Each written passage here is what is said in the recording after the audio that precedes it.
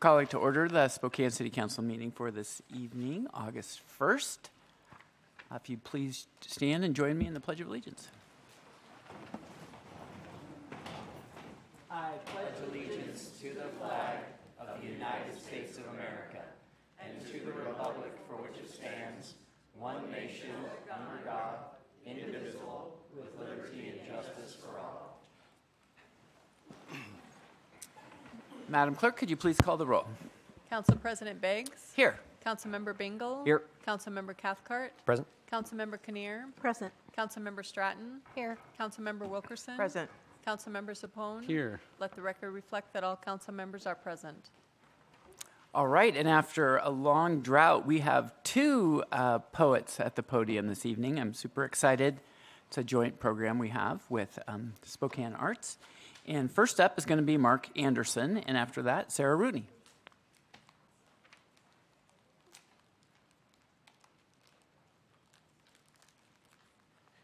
Thank you for once again welcoming poets back into this space. Um, and I know Spokane Arts is very excited to uh, have poets reading from Chris Cook's, uh, the current Spokane Poet Laureate Chris Cook's In the Neighborhood Pro- Project over the coming months. This poem um, that I'm reading is called Innocence. Innocence left us like a firefly escaping a glass jar. It went to live in a coastal hamlet with pastel crayon roofs that slope yellow and blue, where perhaps people are not cruel as children's laughter. Fine, we said when it left, but even with all the electric light bulbs in the world, we have trouble seeing the good in each other. I imagine innocence took work as a confectioner. It rises early to bake lush strawberry fields into gumdrop cakes. When adults complain its flavors lack complexity, it does not resort to bitterness. Every night, it screams into the ocean. It wants us to believe in the importance of the seagull diving beneath the wave, in the small magical life in the sand but instead we clench our hearts, knowing any moment our scars could come unzipped. What then? The world's gone mad. I hate to say it, but I fear it's nothing new. We write letters to innocence and cork them in bottles, hoping the tide delivers to the correct address. We promise a homecoming parade, floats and marching bands balloons that soar so high they never have to come back down. We promise this time we'll do better. When a butterfly settles into our palm, we will not pin it to the wall. Thank you. Thank you. All right, Sarah Rooney.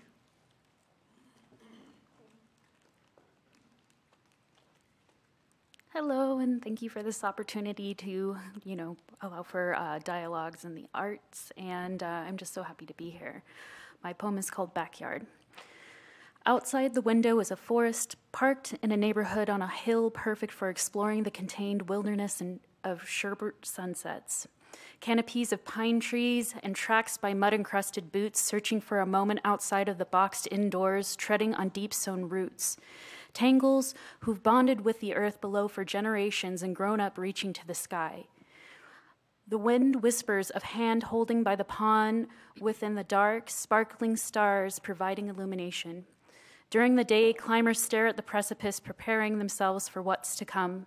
The moss covered stones remain resilient in the heavy snow, and there's a lush verdantness in the trees and flora despite the frost. As the sun passes through the sky and days warm, the mornings become a display of golden highlights caressing trees as they lean, bent from listening to the wind. The warmth brings more vibrancy to the brilliance of colors blooming from the ground. People walk their dogs, following different pathways, searching to breathe deep the calm air and rest their mind from the plastic and metallic that usually surrounds them. There are pockets of silent revelry that allow the soul to rest easy inside of the chest, giving a respite from the harsh beating inside, slowing down and finding a new rhythm. As the earth heals itself, the energy it provides heals its guests, those souls who curiously meander through the trees and bushes surrounding the park. Here, there is a place for recovery and hope when the snow frosts the earth or when the new growth reaches out to the sun. The laughter from children on the playground below echoes out like leaves on branches happily rustling in a soothing breeze. No matter how often the area is explored, new life and voices join in on the symphony of sound in the surroundings. The rhythm leaves a soft humming in the body that clears cobwebs of dust covering the trails within. Each clearing reveals to its visitors the crisp air that encompasses all and is crucial to survival. And this is about my backyard, which is Lincoln Park. And thank you so much for your time. Thank you, Sarah. It was great. To both of you. So glad to have you all back. Uh, we have uh, one proclamation for National Health Center Week, and council Councilmember Zappone is going to read that, and Mike Weiser is going to accept it. Mike, you can come on up to the podium. Whereas for over 55 years, community health centers have provided high quality, affordable, comprehensive primary and preventative health care in underserved communities, having a significant impact on America's healthcare system. And whereas, as the country's largest primary care network, CHCs are the healthcare for home for over 30 million Americans in over 14,000 communities across the nation, serving 1 in 12 people in the United States. And whereas CHCs serve as beacons of essential resources and support in testing and treatment in the face of the global coronavirus pandemic, and we can, will continue to offer reliable, affordable, high quality care against COVID 19 for America's most vulnerable and underserved communities. And whereas every day, CHCs develop new approaches to integrating a wide range of services beyond primary care, including oral and health, oral health, vision, behavioral health, and pharmacy services to meet the needs and challenges of their communities. And whereas CHCs are governed by patient majority boards, ensuring that patients are incurred, engaged in their healthcare decisions. And whereas CHCs are locally owned and operated businesses that serve as critical economic engines, helping to power local economies by generating $63.4 billion in economic activity in some of the country's most economically deprived communities. And whereas CHCs employ more than 253,000 people nationwide, including physicians, nurse practitioners, physician assistants, and certified nurse midwives, who work as part of a multidisciplinary clinical teams designed to treat the whole patient. And whereas the CHC model continues to prove an efficient means of overcoming barriers to healthcare access, including geography, income, and insurance status, improving healthcare outcomes, and reducing healthcare system costs. And whereas CHCs are on the front lines, front lines of emerging healthcare crisis, providing access to care for our nation's veterans, addressing the opioid epidemic, and responding to public health threats in the wake of natural disasters.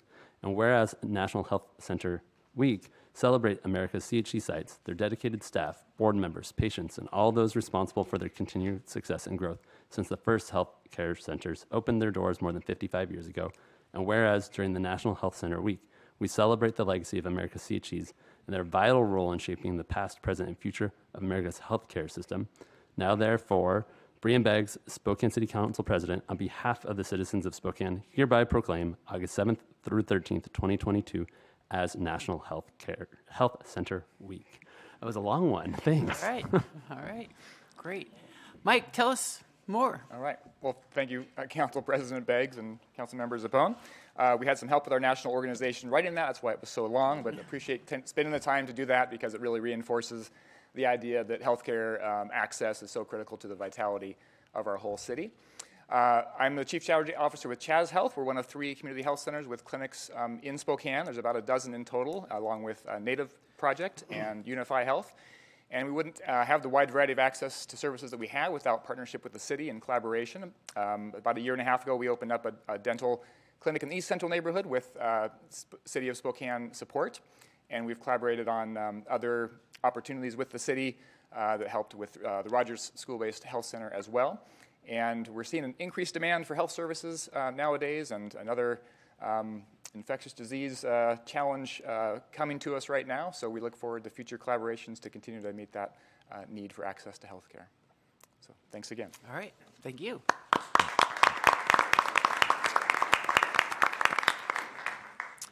Uh, next, we have four appointments to the Citizens Transportation Advisory Board, except one of them, I think, if Jordan Kahn's on the list, let's delay Jordan until uh, the 15th because we haven't done the interview for Jordan yet. So if you could read the other ones.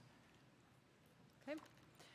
Appointments of the following to the CTAB, Lindsay Shaw, District 1, Position 1, for a term ending August 1, 2025. Barbara Coe, District 2, Position 2, for a term ending August 1, 2024. And Stefan Rodriguez, District 3, Position 2, for a term ending August 1, 2025. All right, all those in favor of appointment indicate by saying aye. Aye. Aye. Any opposed, nay? Any abstentions? All right, they're appointed. Thank you in advance for your service. And again, if anyone uh, wants to serve on uh, various boards and commissions at the city, uh, most of them are appointed by the mayor, and there's an application process and a web page that has all the boards and commissions, what they do, what openings are out there, what terms are coming up, and uh, love to have you participate. There's a few that are council uh, driven, which this one was, um, but also it's on the boards and commissions webpage. So thanks for that. Um, we're just about to do the consent agenda. And we're going to start public testimony, and I just want to remind people, because I see some people I haven't seen before, is that we, uh, even though we clapped in the beginning of the meeting, now that we're in the legislative session, we don't do clapping or cheering or booing or hissing or anything that would um, uh, distract or get in the way of having a safe space. We ask for no vulgarities and no personal insults. Uh, I don't see any signs, but we don't allow sign waving. If you have a t shirt or a button or a hat, that's okay. Um, you get up to three minutes to testify. Uh, this has a yellow light that goes on with one minute left and then red when the time is up, and I'll ask you to stop. Um, I think that covers it. So thanks. Let's read the consent agenda, and then we have one person, uh, Sabrina Meltzer, who's going to testify. And Sabrina, you can kind of wake your, make your way up here. It'll take a few minutes to read the consent agenda. But go ahead, Madam Clerk. Reports, contracts, and claims. Number one, contract amendment with Spokane Testing Solutions, Spokane, adding hearing examinations to provided services from March 1, 2022 to February 28, 2027. Additional cost not to exceed $30,000 annually.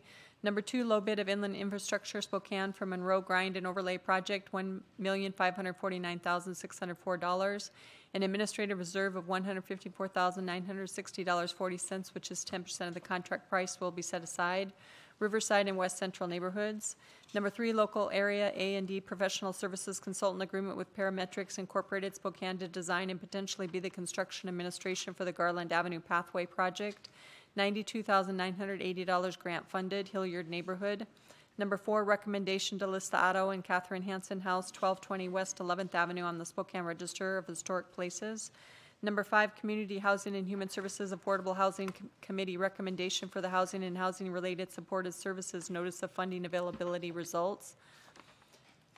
Number six, report of the mayor of Pending A claims and payments of previously approved obligations, including those of Parks Library through July 22nd, 2022. Total $5,253,155.17 with Parks and Library claims approved by- their respective boards. Warrants excluding Parks and Library total $4,620,949.50. B, payroll claims of previously approved obligations through July 23, 2022, $8,018,847.70. Number seven, city council meeting minutes for July 18 and July 28, 2022. Number eight, contract amendment and extension with governmentjobs.com doing business as NeoGov, El Segundo, California, adding the NeoGov learning system, which will replace the Skillsoft system, and extending contract until February 11, 2027. Total cost $637,407.76 plus applicable taxes. Relates to special budget ordinance C 36250, which will be considered later this evening.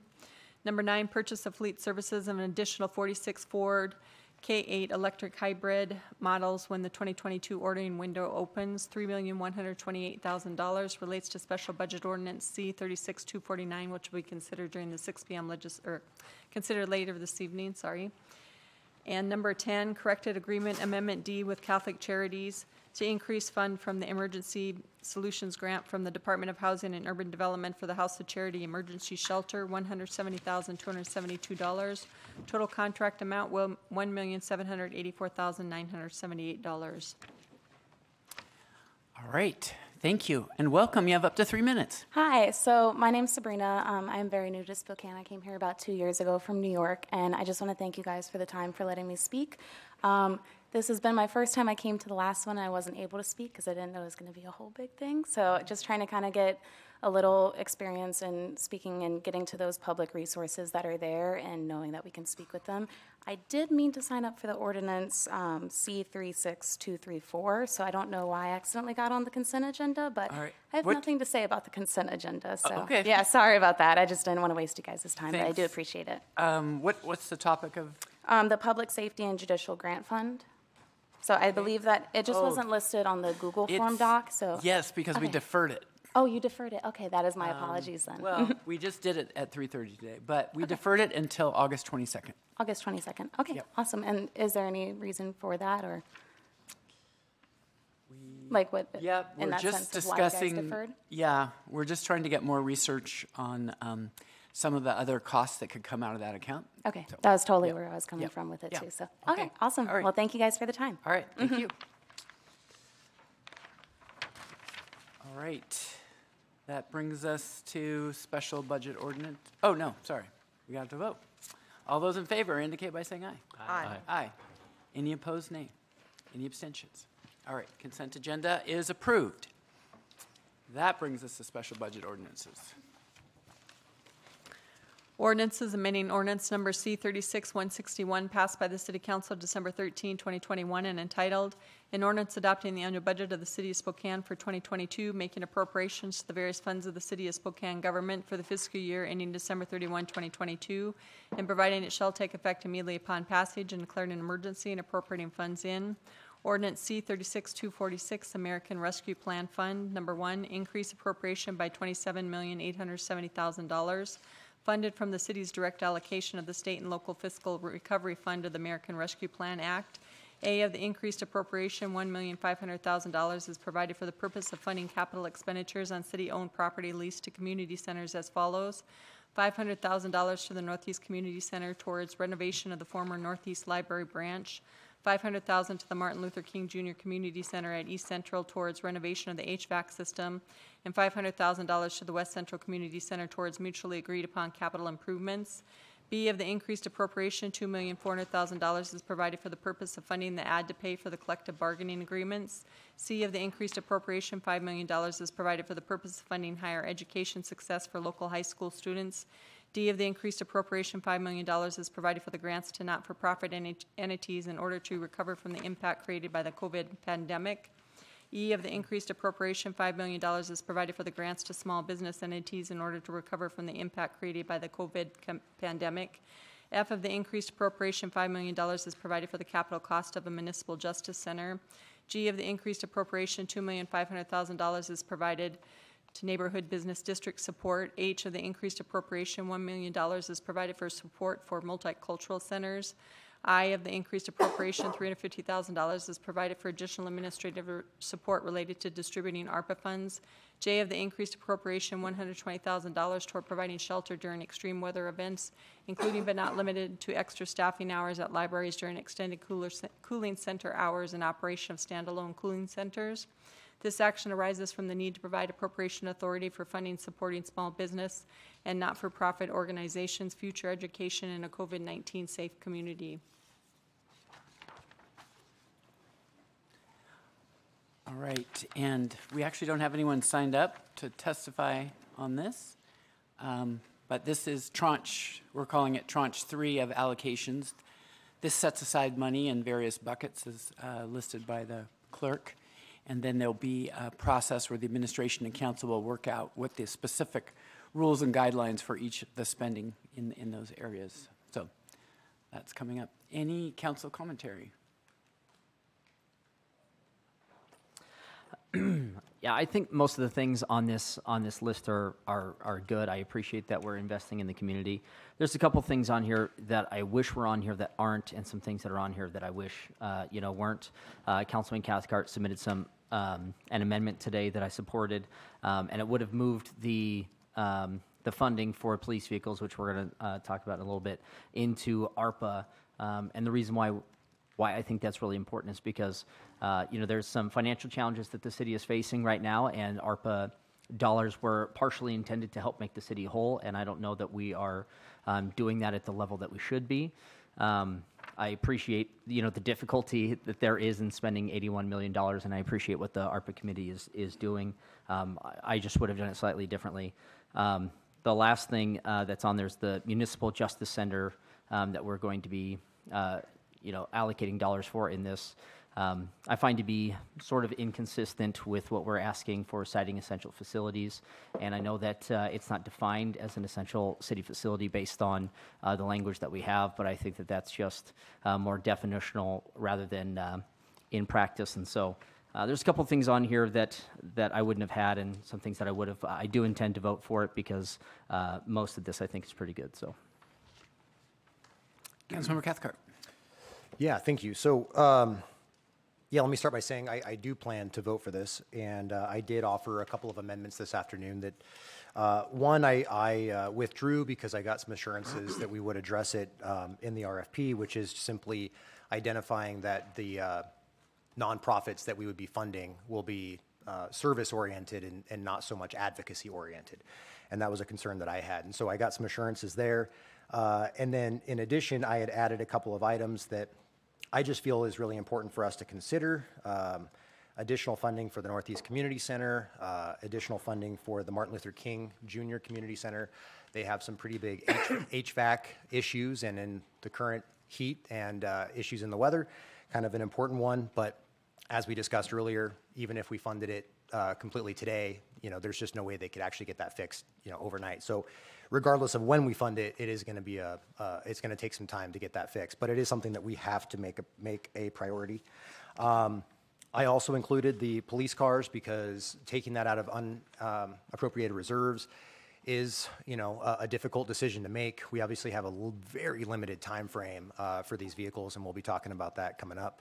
Uh, but it's a, very tricky situation that we're in um, on that one. So, um, I, but I do want to say, I mean, a lot of the stuff here is really important. We're going to be, you know, supporting a lot of people in our community uh, in, different ways. And one that I'm really excited about, and I just wanted to touch on, is, you know, this higher education piece. Um, you know, I think one of the things that, that we've had an opportunity to do with ARPA dollars, and I think this could be it, is trying to identify that thing that is sort of that medium to long-term investment that is that we're going to be able to look back in 10 20 30 years and say you know wow we we did something really good with those dollars that we had. And, and it's something that's going to be long lasting and have a very long term positive impact on our community. And I really think that there's a potential for these uh, higher education dollars to fit that need. You know, the county has contributed towards this. Uh, the school districts uh, uh, and other uh, nonprofit entities are contributing towards this.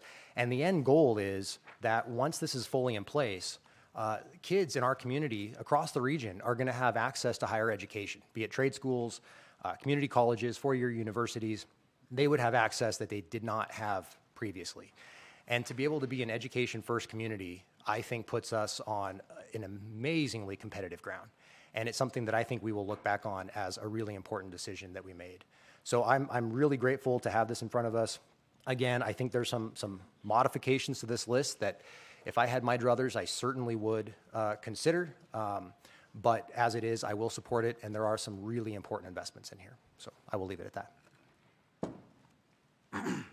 Councilmember Wilkerson. Well, thank you. Now I got that frog out of my throat. I'm ready to talk. I will be supporting this. There are, all these are critical to our community. I echo Councilmember Cathcart's comment about the higher education. It is the first regional thing that we have taken on as a community to go upstream to address some systemic problems um, in our community. The other two that's really important to me is the allocations for small businesses and nonprofits. They took the big brunt of COVID. They stepped into a gap that they were not prepared for, and they rose to the challenge. So being able to replenish some of their resources and sustain them to go forward to meet whatever the next challenges in our community is critical. You know, small businesses couldn't get rental assistance. And we talk a lot about that for homeowners and renters. But small businesses did not have that ability. And so they are really struggling to keep their doors open. And I want to applaud the small businesses because when everything was shut down, our small businesses stayed open. Thank God, because I would have gone hungry. But, you know, we really have to appreciate the people who live here, grow up here, work here. We like the big box, but the mom and pop down the street is really the spice that makes Spokane Spokane. So, again, I'll be supporting this. Councilmember Zappone. Yeah, I'm ex- I'm really excited to be supporting this. I know it's been a, a long process of uh, getting a lot of input, and there's a lot of needs in our community. And so I think this package it shows an investment in our community. It shows uh, that council is prioritizing economic development in our community when it comes to our workforce and developing our workforce, and that commitment to higher education and the wraparound services that are tied to that. I think that it also shows that commitment to nonprofits and small businesses that were impacted greatly by COVID and that we are uh, wanting to invest in them and grow. I'm also particularly excited about the neighborhood business district support. We have a lot of great business districts in our community that um, just need a little bit more investment in, uh, in them, and that will help drive more traffic to our neighborhoods like Garland or South Perry or Hillyard. Um, these are neighborhoods that everybody uses and cherishes, so that investment will really benefit uh, the whole community. There's also great infrastructure uh, investments around our community centers that are used by lots of diverse populations, and investment in our municipal court, our potential municipal court. I'm sure Councilmember Kinnear will talk more about that. But um, this just shows a really big commitment um, to our community and getting these dollars out to people that have been impacted by COVID and an investment of long-term uh, gains to, to Spokane and the greater community. I think you Okay. were teed up, Councilmember Kinnear. Pressure's on, so I too will be supporting this. We don't always get everything we want. There have been a lot of compromises along the way for this. However, I think it's a good mix of, of things that everyone can pick something and say, I really support this. I agree. The higher education piece is huge. It does move us forward. It does make us competitive going forward. And, excuse me, did you give me that frog? Okay. And the thing that really excites me is, as uh, Mr. Zappone said, uh, the Municipal Justice Center, right now, our, our Muni Court, our judges, our prosecutors, our defenders are risking their lives every day because where, where they are working is unsafe. And so for me, this has been years working on this to find some place that they can have and grow into and a building that is perfect for their needs. So I am excited and I'm looking forward to voting yes. Anything for us, Councilmember Stratton? I think everybody said it, uh, but thanks to the ARPA group, because I know this has been um, quite an experience with all this money, trying to figure out what to do with it, so I appreciate it. But pretty much, I'm going to support it, and because of what everybody else said. All right, it's great. Well, I just want to mention a little bit of background because uh, we got this money over a year ago, or at least the first half of it, and um, we've pushed several tens of millions out the door, but this is the biggest tranche, and this is the one most focused on the community. And for those of you who, who weren't following it close, we, we started out with a very robust uh, online campaign to get people's ideas and thoughts, and then they would rank other people's ideas and thoughts through a tool called Thought Exchange. And then um, we held uh, several town hall meetings. One was virtual. Uh, we had one at um, Rogers, one at North Central, and one at Ferris. And then we hired uh, specifically uh, outreach uh, coordinator to especially reach out to communities that are historically marginalized. We deployed um, Alex Gibilisco from our office, who's our um, manager of an equity, diversity, and inclusion initiatives. Uh, Lisa Gardner, who's our communications director, and uh, community engagement. And they've met with many groups and people and tried to understand what the needs were. And as you, you already heard, that you know these are helping the community centers. Um, it's helping a different kind of municipal court system where people could actually park and that have offices for uh, treatment and interventions for people so that we treat people holistically and help them reclaim their lives in the community. Um, it's, but I think some of the biggest things in the end, as Councilmember Zappone uh, mentioned, we really focused a lot on smaller businesses. So we really went the money, wanted the money to go to neighborhood business districts those of you who are watching closely, the CARES Act, which was earlier in COVID, a lot of that money went to larger businesses. They were technically smaller uh, by law, but they seemed to be larger. They had lawyers and accountants that could apply for the money. And we really wanted to focus this on the entities that maybe weren't as sophisticated, just kind of everyday people. And so we focused on the neighborhood business districts and we focused on much smaller businesses for $5 million in grants and smaller nonprofits, $5 million. And we got lots of great input, and I'm super happy that it looks like we're going to have a 7 0 vote to move forward. And with that, you can prepare to vote.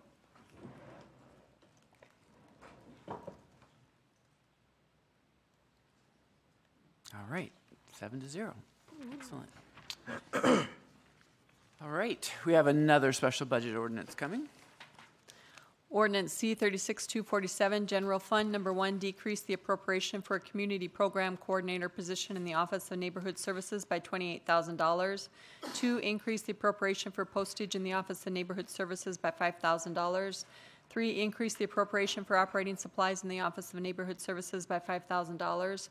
Four, increase the appropriation for software in the Office of Neighborhood Services by four thousand five increase the appropriation for an operating transfer out in the Office of Neighborhood Services by thirteen thousand five hundred dollars.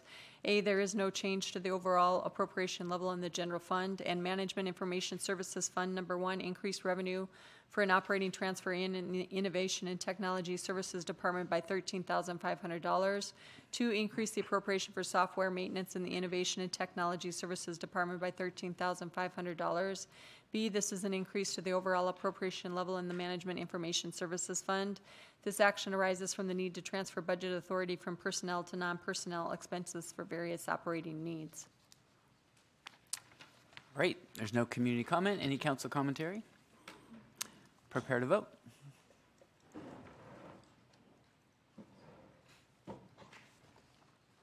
All right, seven to zero. That brings us to another special budget ordinance. Ordinance C thirty-six two forty-nine, General Fund, unallocated reserves, number one, increase operating transfer out by three million one hundred twenty-eight thousand dollars. A of the increased appropriation, $3,128,000 is to be transferred to the Police Property Acquisition Fund for the purchase and commissioning of the following police vehicles. A, up to 46 4K8 electric hybrid models and Police Property Acquisition Fund, one, increased revenue by $3,128,000. A, $3,128,000 of the increased revenue was from a transfer in from general fund unallocated reserves. Two, increase appropriations by $3,128,000. A, $3,128,000 of the increased appropriation is to be used solely for the purchase and commissioning of the following police vehicles. One, up to 46 Ford K8 hybrid or Ford Mach-E models. This action arises from the need to purchase and commission police vehicles. I'm just noticing some language, and Major McNabb had pointed this out, but we didn't get it in there. If you look at the very top where it says A, up to 46 Ford K8 electric hybrid models, but below, we uh, gave them the option for or Ford Mach-E models. And I'm just looking for a motion to add that same language. Yeah, so moved. Second. Okay, any discussion about that? All those in favor indicate by saying aye. Aye. Any opposed, nay? Any abstentions? All right, thank you. There's no uh, community comment on this. Um, Again, this would, um, we've been talking about this for a while, but with the supply chain issues in vehicles, uh, there is a very brief window opening up, we think, in the next week or so. Uh, And the police department wanted to be able to have authority to order models for the next few years of increases. And um, this would put the financial authorization to do so. Wouldn't spend the money right away because they would have to actually be delivered, and we don't even know if we'll get all of the ones that we order. Uh, But it would give the department the option to order the hybrid uh, ones, which are kind of a bridge, and then also the fully electric Mach-E's if they couldn't get those. So that is the summary. Any council commentary? Councilmember Kinnear. Thank you. We've worked on this for quite a while. We've been working on the whole concept of how do we order police vehicles so- so that's sustainable. So we're not having to order bunches of them at a time, but met them out over a period of years. And So this will hopefully catch us up to where we need to be so that we can go to a better model of ordering cars. And to say that there's a backlog or there's a supply chain issue is an understatement because there's a two-year wait. So, even with a two-year wait, we're not guaranteed to get everything that's ordered. So I think it's crucial that we do this now so that we're, at least we get something going forward and our police aren't um, walking to, to emergency calls. Councilmember Cathcart. Yeah, I'm, I'm going to support, um, I'm going to support this, but I guess the, the, the biggest piece is taking this out of our unappropriated uh, um, reserves is going to be pretty tough on our, our budget, and we're already in a very tight budget. The problem is, you know, the prudent thing here and, and the difficult decision we have is that we've got a week basically to make this choice uh, when that window opens. And it's been very challenging for our police department to get access to vehicles. We authorized a purchase several uh, months ago, and really the window closed before they were able to, to even execute. So it's, it's pretty critical that we get these ordered, but I'm committed to working for the next few months uh, before our next budget is adopted to identify a revenue source of some kind that we can tie this to that is not reserves.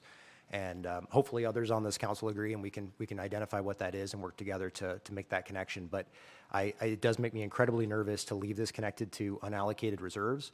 Unfortunately, it really is the only option we have uh, barring ARPA, which uh, that did not, I, I proposed an amendment on that earlier today and that did not pass. But uh, barring ARPA, there really is no other option today. And so we have to get the, the orders made. And so we're, we're just, we're up against it.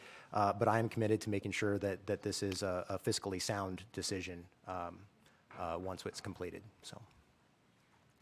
Other commentary? Councilmember Wilkerson. Thank you. So I echo Councilor McCathcart. This coming out of reserves gives me a little bit of heartburn also. But what I really want to get out there is this just didn't happen this year with this backlog of police vehicles. This has happened over several administrations. According to the police, that they would ask for cars and they would only get a portion of the cars that they were asked for.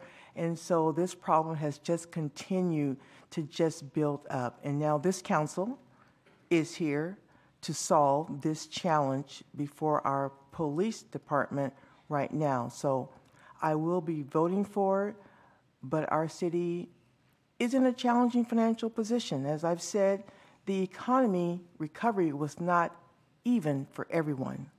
So everybody didn't bounce back as quickly as some others did.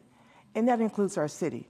So going forward, I agree, we need to find another revenue source, or we have to be ready to cut in other places.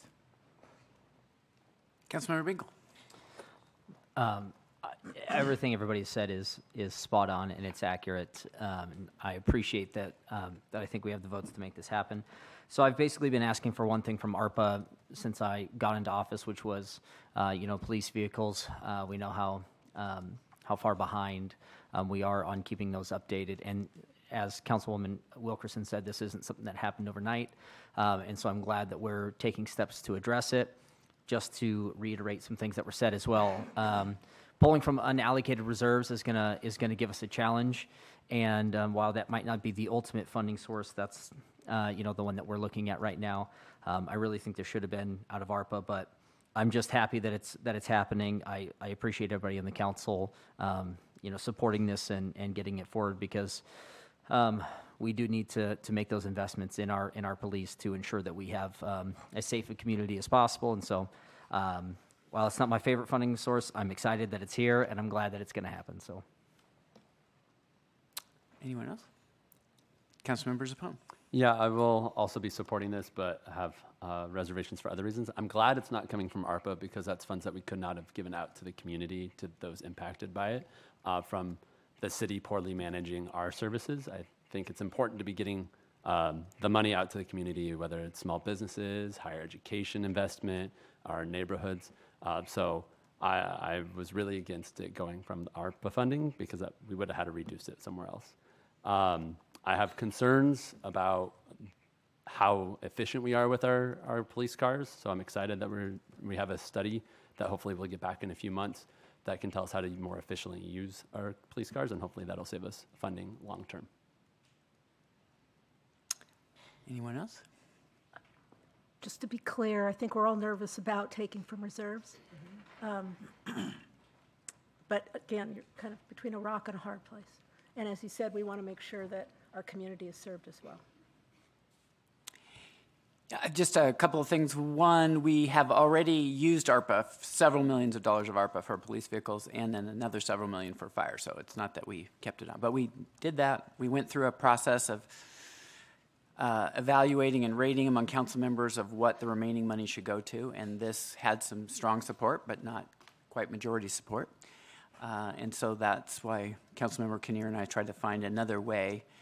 And to follow up on some of the other comments from council members, we, um, in 2020, when uh, many of us came into our current terms and with this administration, we had a sustainable uh, vehicle plan where we, every year, we took the increase in property taxes, which is limited to 1% or about 500,000, and then we matched it with 500,000 from the general fund. So year one, we put 1 million, year two, 2 million, year three, 3, and it was just going up. And it was on track to get us to sustainable for fire and police. And this administration decided to go away from that under pressure of COVID. No, it was a real pressure, but they went away from that. And so we lost the plan and we lost track of it essentially. And, and that's part of what's going on. Part of it, previous administration just didn't let the vehicles be purchased. But part of it is we've lost that. So what I'm uh, suggesting this proposal is will get us the vehicles on order and it will give us time to come up with that sustainable plan. And it could be uh, internal loans, it could be other revenue sources, but I think we owe it to the community and the police and fire departments to figure out a sustainable plan. And that's, this gives us that. Uh, and other things that we were going to use our reserves on, we probably still could use for ARPA, so it should balance out. But we really wanted to deal with that crazy uh, window that's coming that was beyond any planning for. So with that, prepare to vote. Just, Oh, sorry, sorry. real quick, just to put in perspective. So we had the Tahoes that we approved earlier. That window was open for t- like 24 hours, like Yeah. literally 24 hours. That's why it's important for us to be. Yeah, yeah. yeah Prepare to vote.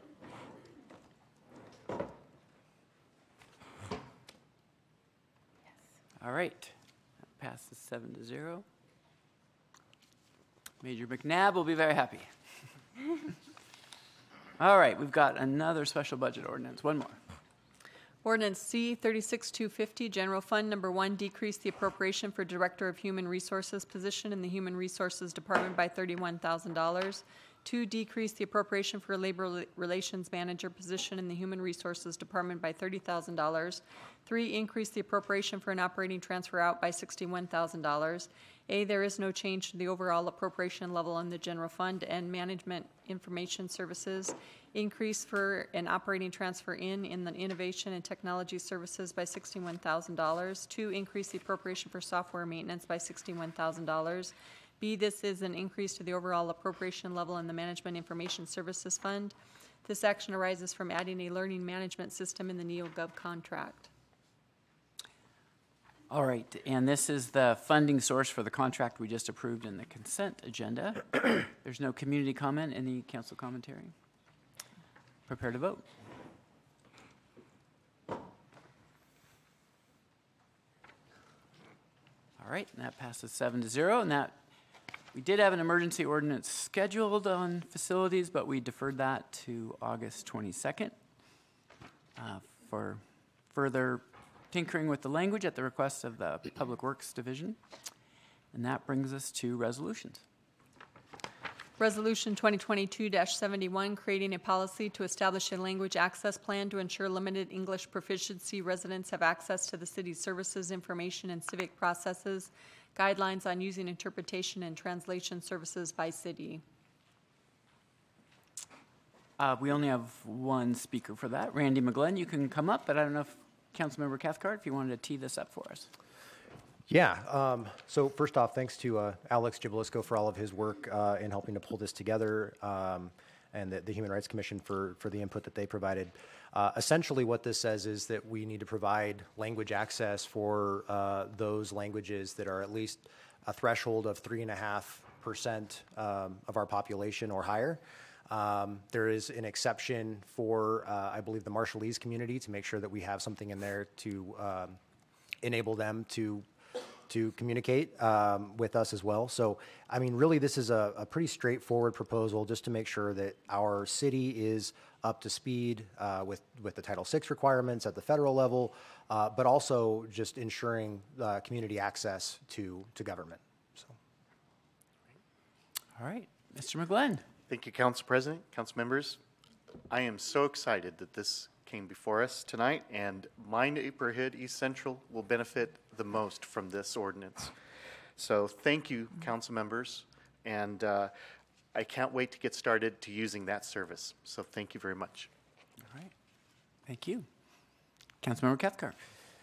Yeah, so I'm, I'm really excited to support this uh, tonight. Um, you know, this really I think came about during the CARES Act discussions that we had and realizing just how many um, uh, vulnerable community members we had that really did not have language access uh, to either the work we were doing to try and get access to those CARES dollars or uh, rental assistance or you know any of the stuff that we were trying to do uh, to support the community. And so it really kind of rose up as a as a high need. And and so over the course of those two years, working with Alex Gibilisco, our uh, diversity and equity coordinator for the city council. Um, he's he's helped to put this uh, really important resolution together uh, that, as I mentioned, will provide that language access for those community groups that reach three and a half percent or higher. Um, and you know what what really strikes me is that I think a key component of government um, is is making sure that everybody has access. Right, everybody deserves access to their government. And we want to make sure that we're set up in a way that people can attend our meetings and know what's going on. They can get access to documents and understand, you know, how those are going to impact them, their families, their livelihoods, that sort of thing.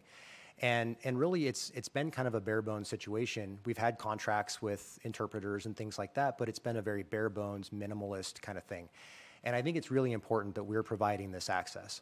Um, my wife is uh, her she's Vietnamese and her family um, she's first generation born in America. And when her parents came here uh, to Spokane, they wanted to open a business, a restaurant.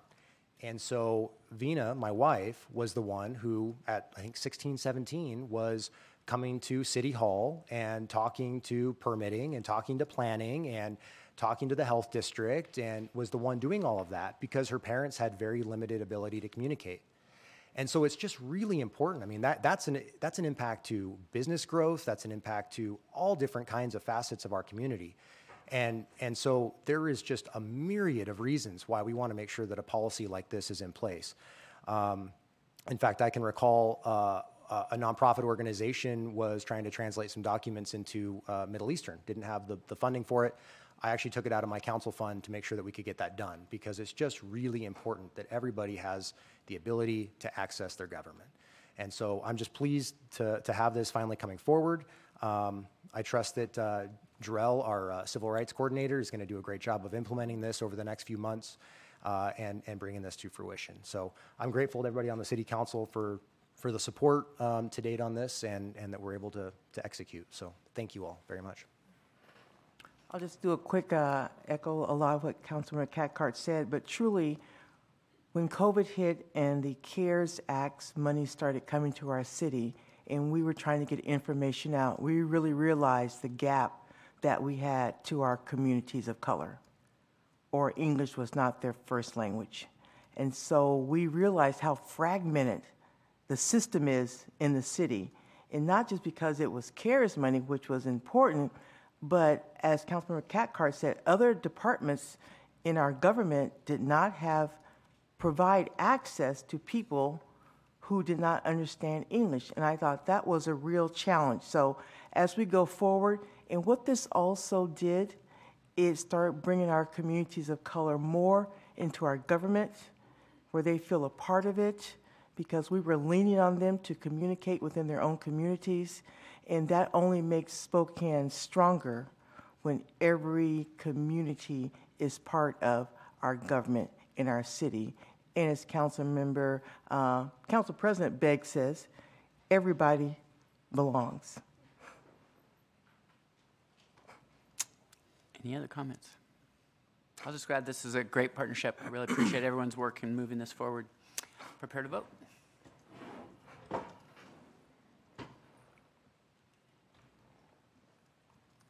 right. That passes seven to zero. Uh, Then we have a resolution, I believe, the very late breaking, uh, we realized that uh, we had to get something to the auditor uh, with a committees to um, pro and con on the ballot measure, whether or not the city of Spokane should have a more independent city attorney.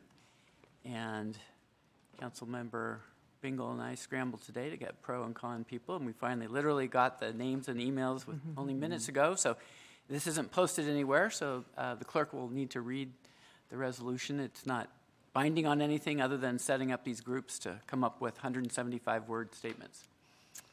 Okay. Resolution number 2022-72, a resolution regarding the appointment of for and against committee members relating to the ballot measure on the November 8, 2022 general election, regarding a proposition regarding amendments to sections 24, 28, 29, and 33, and repeal of section 32 of the Spokane City Charter relating to the appointment duties and powers of the city attorney and other legal counsel, and approving the explanatory statement prepared by the city attorney.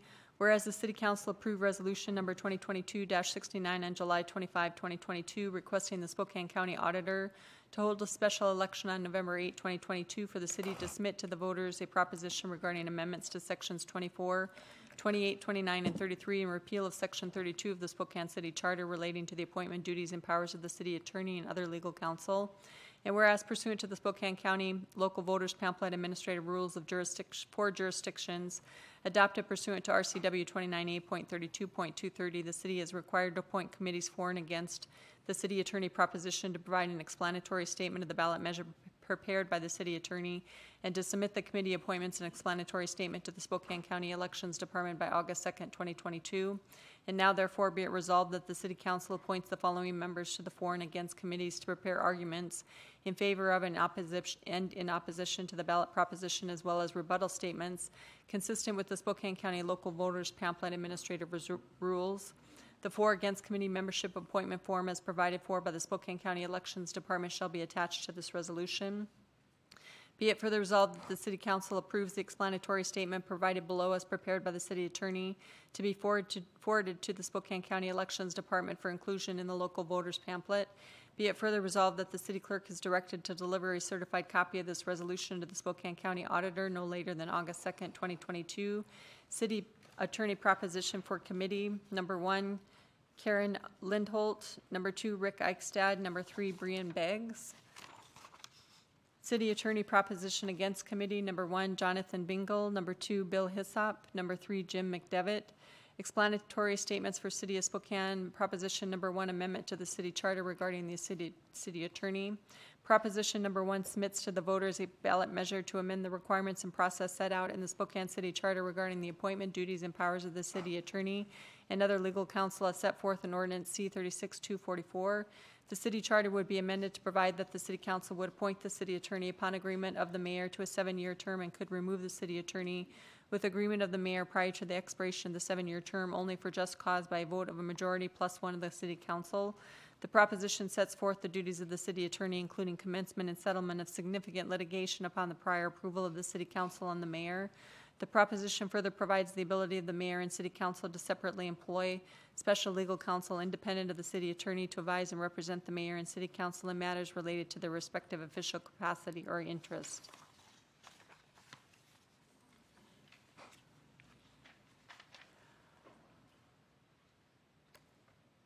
Okay, great. All right, there's no public comment on any council commentary? All right, prepare to vote. All right, that brings us, that seven to zero, and that brings us to, we have one first reading ordinance where we have one person testifying, but go ahead and read it.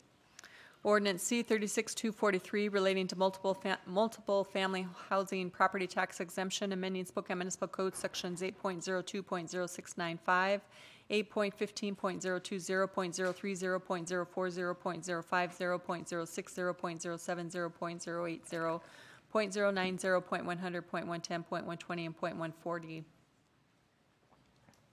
All right, we have one uh, person, Dave M., who's calling in. Dave, if you're there, if you want to hit star three.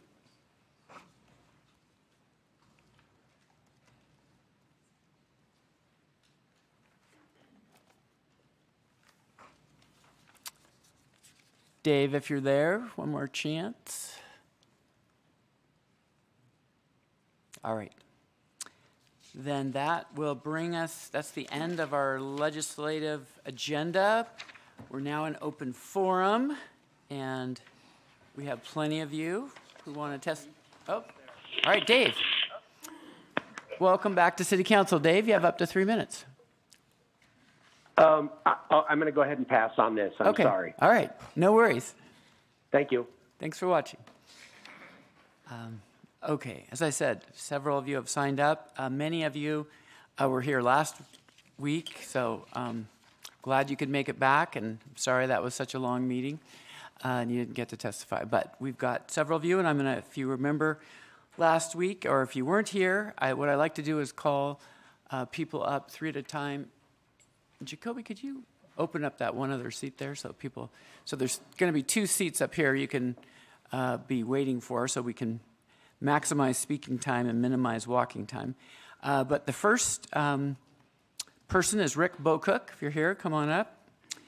And then next is William, it looks like Hagee, and then Karen Carlberg.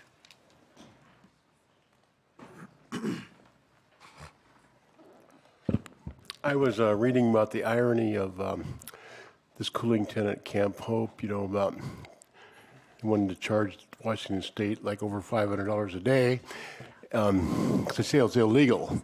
But the, all the tents there are illegal, so why are they even doing that? Especially to the state that's going to be putting up $24 million. Why would they want to do that? but I'm also thinking about my past because I'm only like one generation from people that came over on covered wagons, pioneer stock, um, people that were raised in the depressions, and it's the this story is similar about the homeless population here because there was a mass migration during the depression days in the Dust Bowls, and uh, one of the group of people that really got targeted were people from Oklahoma. They were called Okies. People from Arkansas. Um, they were really treated like garbage, and it was basically the same story. They're crimin. I'm going to use the proper English term. They're criminals, you know, and um, they're just bringing bad things to our community. You're, this, this is this is history. I don't think people read history, but the people that are coming against homeless people, they're repeating history and they want to do harm to their fellow man because they don't like the way they are. They don't like the way they're surviving.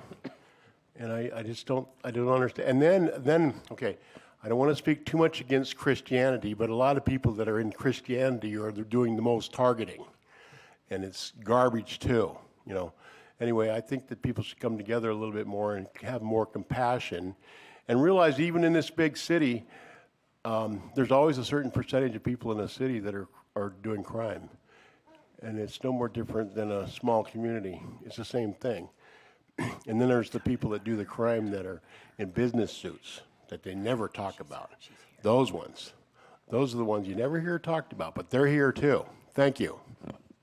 Thank you.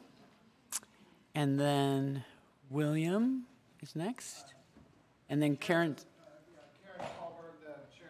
She wants to go first? That's okay. Welcome, Karen, and after Karen is William, and then looks like Kathy Hagee as well after that. Welcome. So I'm Karen Carlberg. I'm the chair of the West Hills Neighborhood Council. And I'm going to give an introduction for several of my neighbors who are going to be speaking about this topic. Most of you know that there are proposals for four different facilities for the West Hills neighborhood with either low income apartments or recently homeless people. And we are here to ask that that be reduced. Four is too many for any neighborhood. We know we need to find places for these people. We know it's urgent. But to put that many people in one neighborhood is too much to ask. And my neighbors are going to tell you all of the reasons for that. Now, those four facilities include low income apartments with Catholic Charities at the bottom of Sunset Hill, movement of people from Camp Hope to the Ascenda facility a little ways up the hill on Sunset Boulevard, the Quality Inn with people coming from Camp Hope at the top of Sunset Hill. Those, those three facilities are within less than one mile of one another. And then we learned last week that there is a proposal for Catholic Charities to move people from Camp Hope to the existing low-income apartment complex on Whistalks Way. We think this should be spread out among more neighborhoods. And my neighbors will tell you the effects that they think this will have on our neighborhood. Now, I think all of you also have heard that we West Hills Neighborhood Council people were not consulted at all in the planning of a lot of this. And we learned about the Quality Inn from the Spokesman Review. We learned about the Whistalks Way proposal for people from Camp Hope from some River Run neighbors, neighbors at a, at a meeting last week. And we have had promises from the city administration as well as from Catholic Charities at our neighborhood council meetings, and this is in our minutes, that they would engage us, engage us in any of the planning for these kinds of facilities. And they did not. Karen, your time is up now, but thank you for coming down. We'll look forward to hearing from your neighbors. Uh, so William, and after William, uh, Kathy Hagee, and after Kathy, it looks like Shay Suski. Yes, uh, uh, Council President and council members, I thank you for this opportunity to voice testimony on behalf of the West Hills Neighborhood Council as well as the residents and businesses of West Hills as Vice Chair of the West Hills Neighborhood Council. Uh, I've listened to a great uh, amount of opposition has come to my attention as Vice Chair on the West Hills Neighborhood Council against two or more proposed projects and developments running into the Row Initiative by way of a prepackaged plan to bring a permanent and or otherwise referred to as emergency low barrier housing opportunities to the West Hills. Opposition regarding the estimated 14.14 uh, million of state funding being awarded to Catholic Charities for the proposed 86-room motel on Sunset Boulevard has indicated a number of levels of conflict and opposition regarding uh, and, and, in reference to the Fair Housing Act itself and suspected levels of discrimination uh, by way of proposed resident selection, participation process, and showing exclusivity to one portion of the group that is to be interviewed. Disabilities Act further shows discrimination prevention of services, uh, lack of supported environmental impact, traffic study, or community engagement with residences, businesses, or even the West Hills neighborhood officers uh, and prejudice shown towards existing residents and or business owners by showing further exclusivity to one group being catered to and introduced to the other. Uh, Catholic Charities of Eastern Washington listed as a recipient approximately 14 million of the 24 million in state funding directed to further support the 600 individuals at Camp Hope. As indicated by Catholic Charities to accommodate as few as 110 to 130. Public health and safety concerns regarding the relocation of the 598, whereas the 598 of 601 interviews conducted at Camp Hope showing that they don't have valid ID, social security card, possession of driver's license or otherwise, in what uh, gives residents and business owners alike concerns for their family, children, elderly, disabled, including way of life. Further indications as to the lengthy history of failed projections or promised result driven metrics surrounding business operations found and confirmed to both lack policy and or policy enforcement on behalf of Catholic charities in themselves. What further conflicts both with the Fair Housing Act as well as a number of points in RCW 24.03A.150, both 2A and B, given both the inability to act on, by, behalf of corporate officers, including challenging the ability to act as a nonprofit organization. All right, Mr. Hagee, your time's up for today. Thank you so much for coming down. And is Kathy Hagee here or not? I'm not seeing. Okay, it looks like Shay. Shay, come on up, Suski. Uh, and go ahead and introduce yourself and what city you're from. After Shay is Gib Brumbach and then Michael Holland. Great. Welcome. Thank you. Greetings, uh, City Council. My uh, name is Shay Suski, and my wife and I live in the West Hills neighborhood of Spokane. I am here as a resident of this neighborhood to express our concerns about the city's proposal for funding from the Department of Commerce to relocate, by my account, almost 40% of those in Camp Hope to various facilities along Sunset Boulevard in the West Hills neighborhood. The Quality Inn conversion by Catholic Charities to shelter roughly 120 people is the most pressing project, as it has moved at an unprecedented speed. The site is not near services people would need. The pedestrian environment to get to the nearest services presents a dangerous situation, and we are concerned about the impacts to, uh, to nearby regional assets such as Finch Arboretum, Highbridge Park, the dog park, uh, Fish Lake Trail, which the city will be investing millions into in the next few years. I also want to draw attention to the Empire Health Foundation's funding ask for 75 pallet homes to house 125 people along Sunset Boulevard, as the reporting of this ask has lacked detail to this point. This organization, which cooperates as Sunset Health LLC, owns the Ascenda property and land behind it in the northwest corner of Sunset and Government Way, which is where this project would go. But to many in the neighborhood, the concern is not just about one project. It's the totality of what already occurs in the neighborhood and what is planned for the West Hills.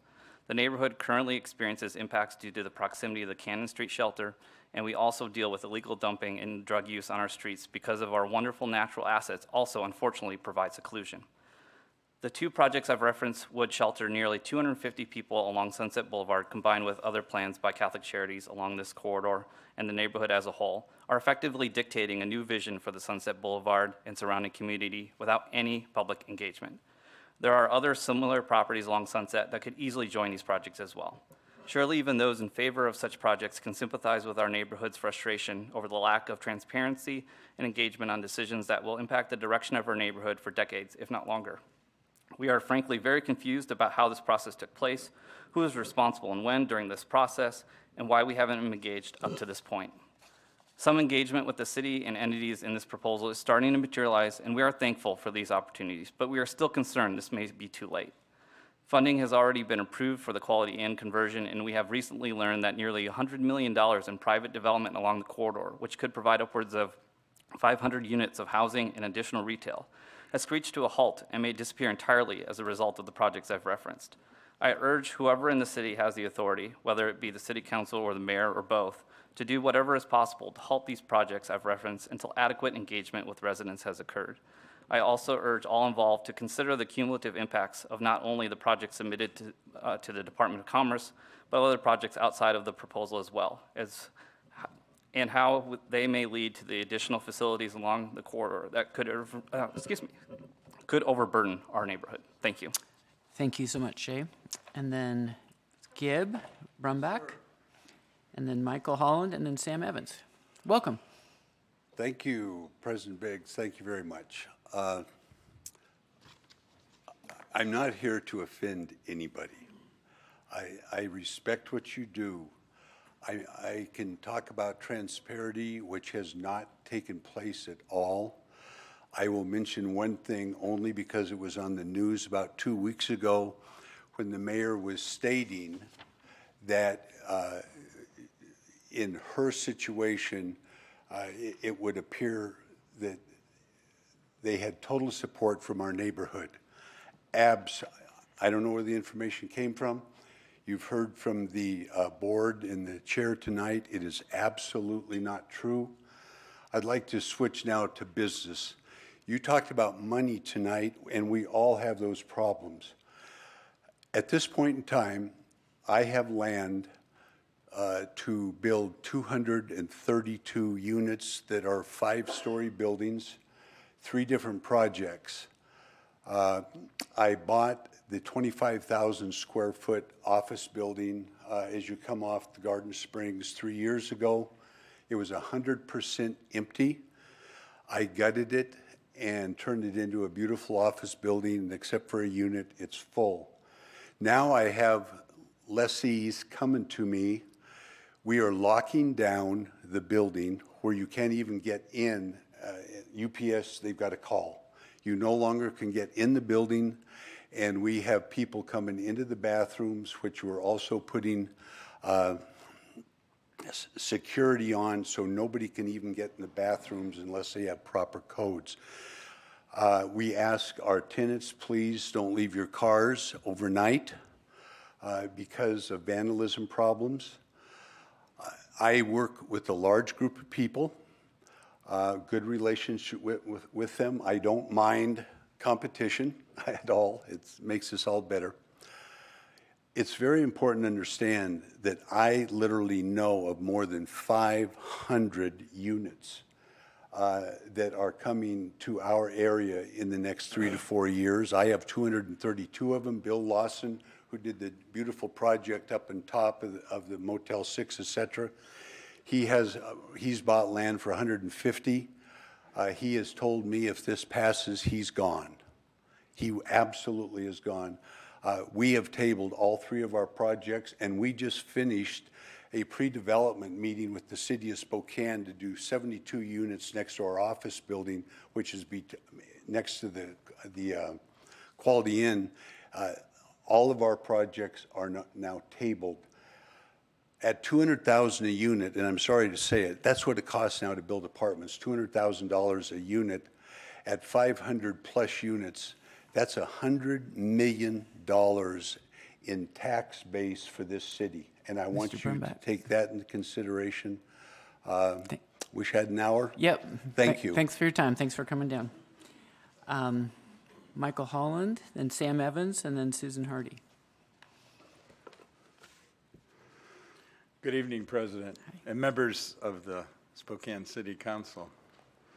I, um, we moved to, my name is Michael Holland, yes, and we moved to Spokane on July 1st, 1984, and I'm, uh, have lived in our house on the corner of Woodridge and Navajo off of North Indian Trail uh, for 38 years. I'm concerned about traffic infrastructure and emergency services being affected by proposed modifications to Falcon Ridge North PN-1967-05 and Woodridge View um, PN-196-05. I know that these lie on the county side of the line adjacent to the city boundary, but these proposed modifications want to add an additional 165 lots to the already approved 122 um, uh, lots in the city. Our deep concern is that there is no road and no existing plan to build a road on the county side of these proposed uh, additional 165 lots. So the question is, does this mean that Spokane County Sheriff's Department, Spokane County Fire District, Mead Schools, and Waste Management will all have to travel around the hill, either way, and access the city uh, roads to service these additional homes? The access roads seem to be Weber Drive, that has only two one-lane, one-way lanes that are 17 and a half feet wide, separated by a median with trees, Navajo Drive, Shawnee Drive, and Woodridge Drive, all exiting onto North Indian Trail. My request is that you ask the county commission to postpone these proposed modifications until they build, build a road with access from the county side, at least um, do studies on traffic infrastructure and emergency services. Thank you very much for your service, for listening to me, and special thank yous to Jacoby Bird, Assistant to Council Member Kinnear, and Jeff Gunn, Assistant to Council Member Zappone, because they graciously each returned my phone calls and courteously talked to me. So you know what that counts for. So, any questions? Yep. So, Thank you so much for coming down. thank you. All right, Sam Evans, and then Susan Hardy, and then James Reinhardt. Thank you, council members.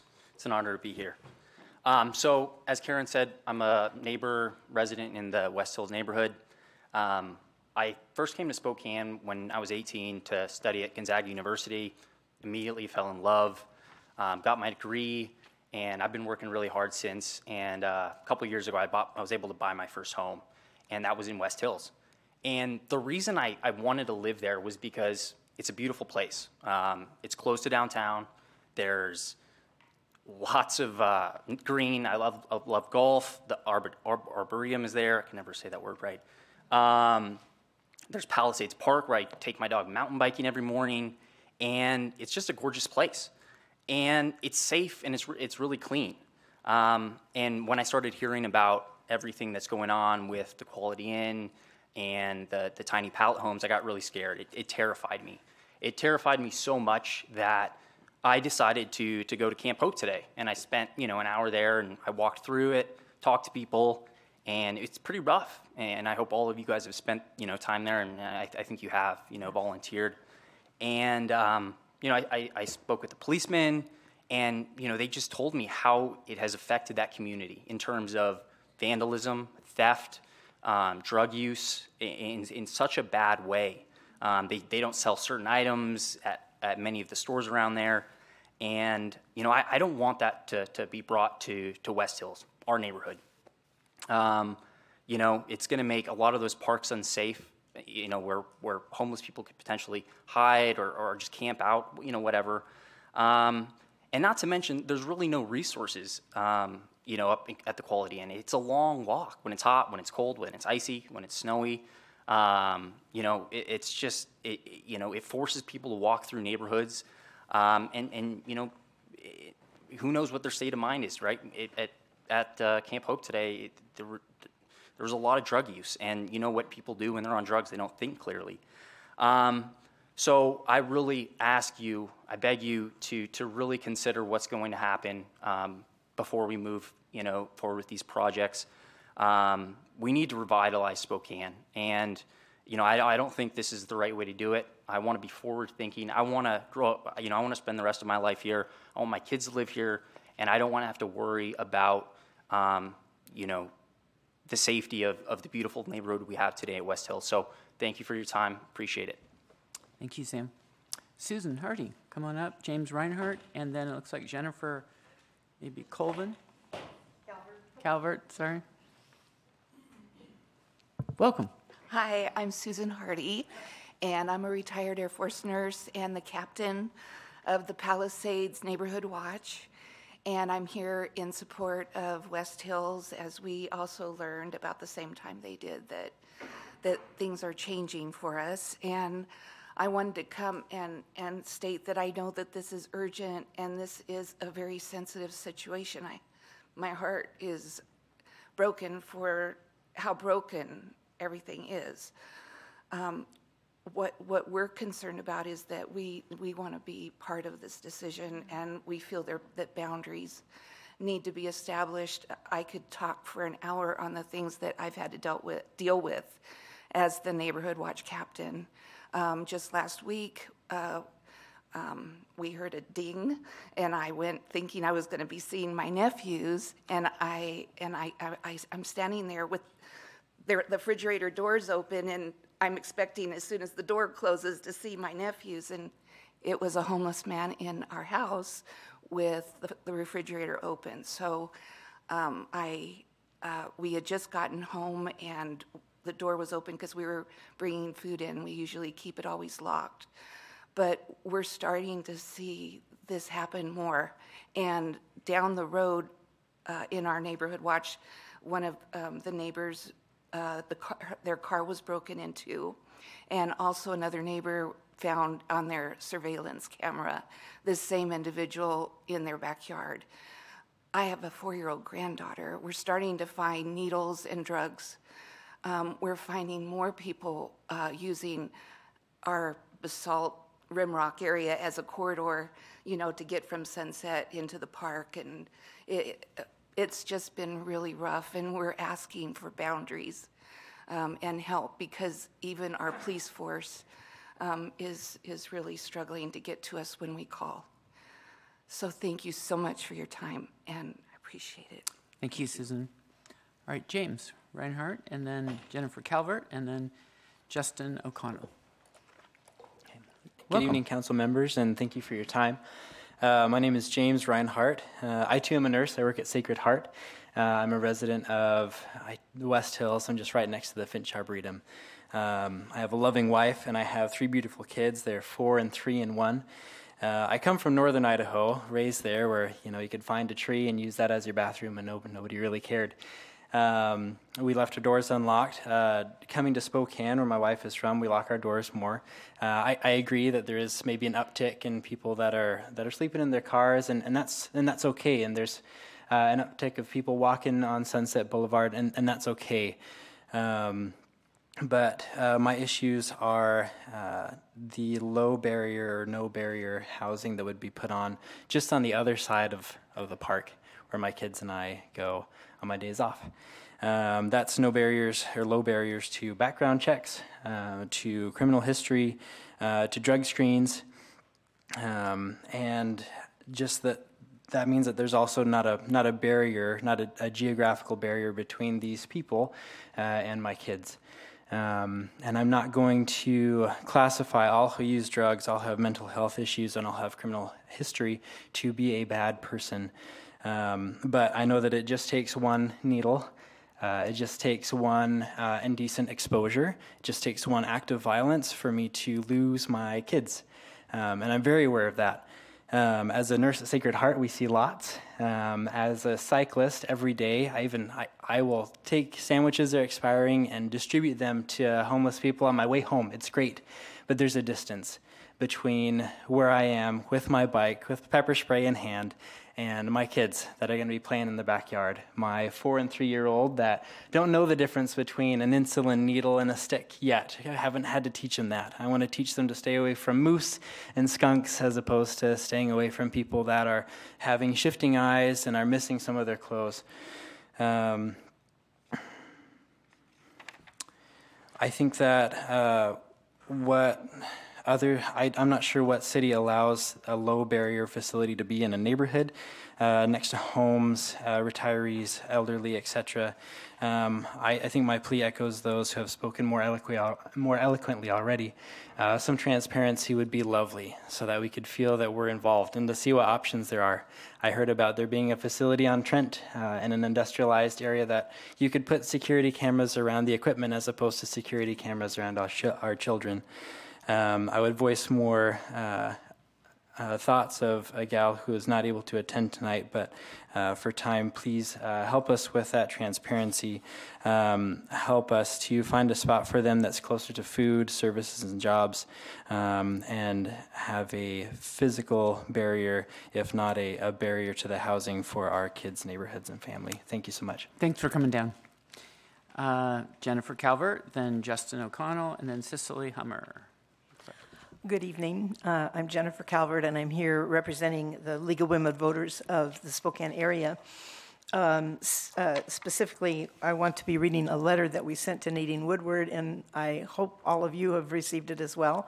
Uh, just let's uh, read it and uh, get some emphasis where it needs to be. Uh, so, for the last two years, the League of Women Voters of the Spokane area has made recommendations to the Spokane City Council concerning the unsheltered residents of our city. We've made three specific recommendations. We recommended first uh, to secure sufficient low barrier 24 7 shelter beds, including meals for unsheltered individuals. Two, provide places for unsheltered, unsheltered individuals to go during the day that are warm and dry or, you know, cool uh, depending on the season. And three, provide sanctioned public places with trash disposal, toilets, and hand washing facilities where those experiencing homelessness can set up tents and or park their vehicles. Uh, because I hope that you realize that many individuals are not able to uh, take advantage of shelters that we might have. So I'm looking at the bigger picture here. Uh, currently, we're most concerned about that third recommendation, which is that they provide that we provide sanctioned public places for these people to be. The two proposals that have been submitted for revisions to the camping ordinance present varying rules that outline not only where the unsheltered cannot rest, but also deem these places illegal. Both proposals will restrict camping from one, within 100 feet of railroad viaducts, two, within 35 feet of the Spokane River or Latah Creek, three, all city parks and city owned property, and four, within three blocks of any congregate shelter. So the mayor's proposal goes further and expands these restrictions to include the boundaries of the business improvement district and the downtown police precinct. The focus of both proposals is on where residents cannot go. We prefer that the focus be put on where the unsheltered can safely and legally live while they engage with service providers to gain access to housing, employment, and other support. Um, I'm going to cut here because I'm a little afraid I'm going to be cut off. Um, we know that there are at least 20 properties in the city that could be immediately put to use for the needs of the unsheltered. And we strongly urge both City Council and Mayor Woodward to present options, including but not limited to these 20 that have been uh, identified by an expert that we recently heard from, where the unsheltered can legally exist. And we agree that ideally, people experiencing homelessness should not camp in front of downtown businesses, rights of way, or in public parks. But our elected officials need to first inform these individuals where they can live while they engage with service providers, obtain necessary, excuse me, necessary IDs, and wait for housing to become available instead of updating ordinances to tell them where they cannot live. Whoops, I, my time is up. Thank you very much. And so, yes, read your email. Thank you. Thanks for coming down, Jennifer. All right, Justin O'Connell, Cicely Hummer, and then Kim Schmidt. Two or three? Three minutes. Great. Thank you, everyone, for your service, first and foremost.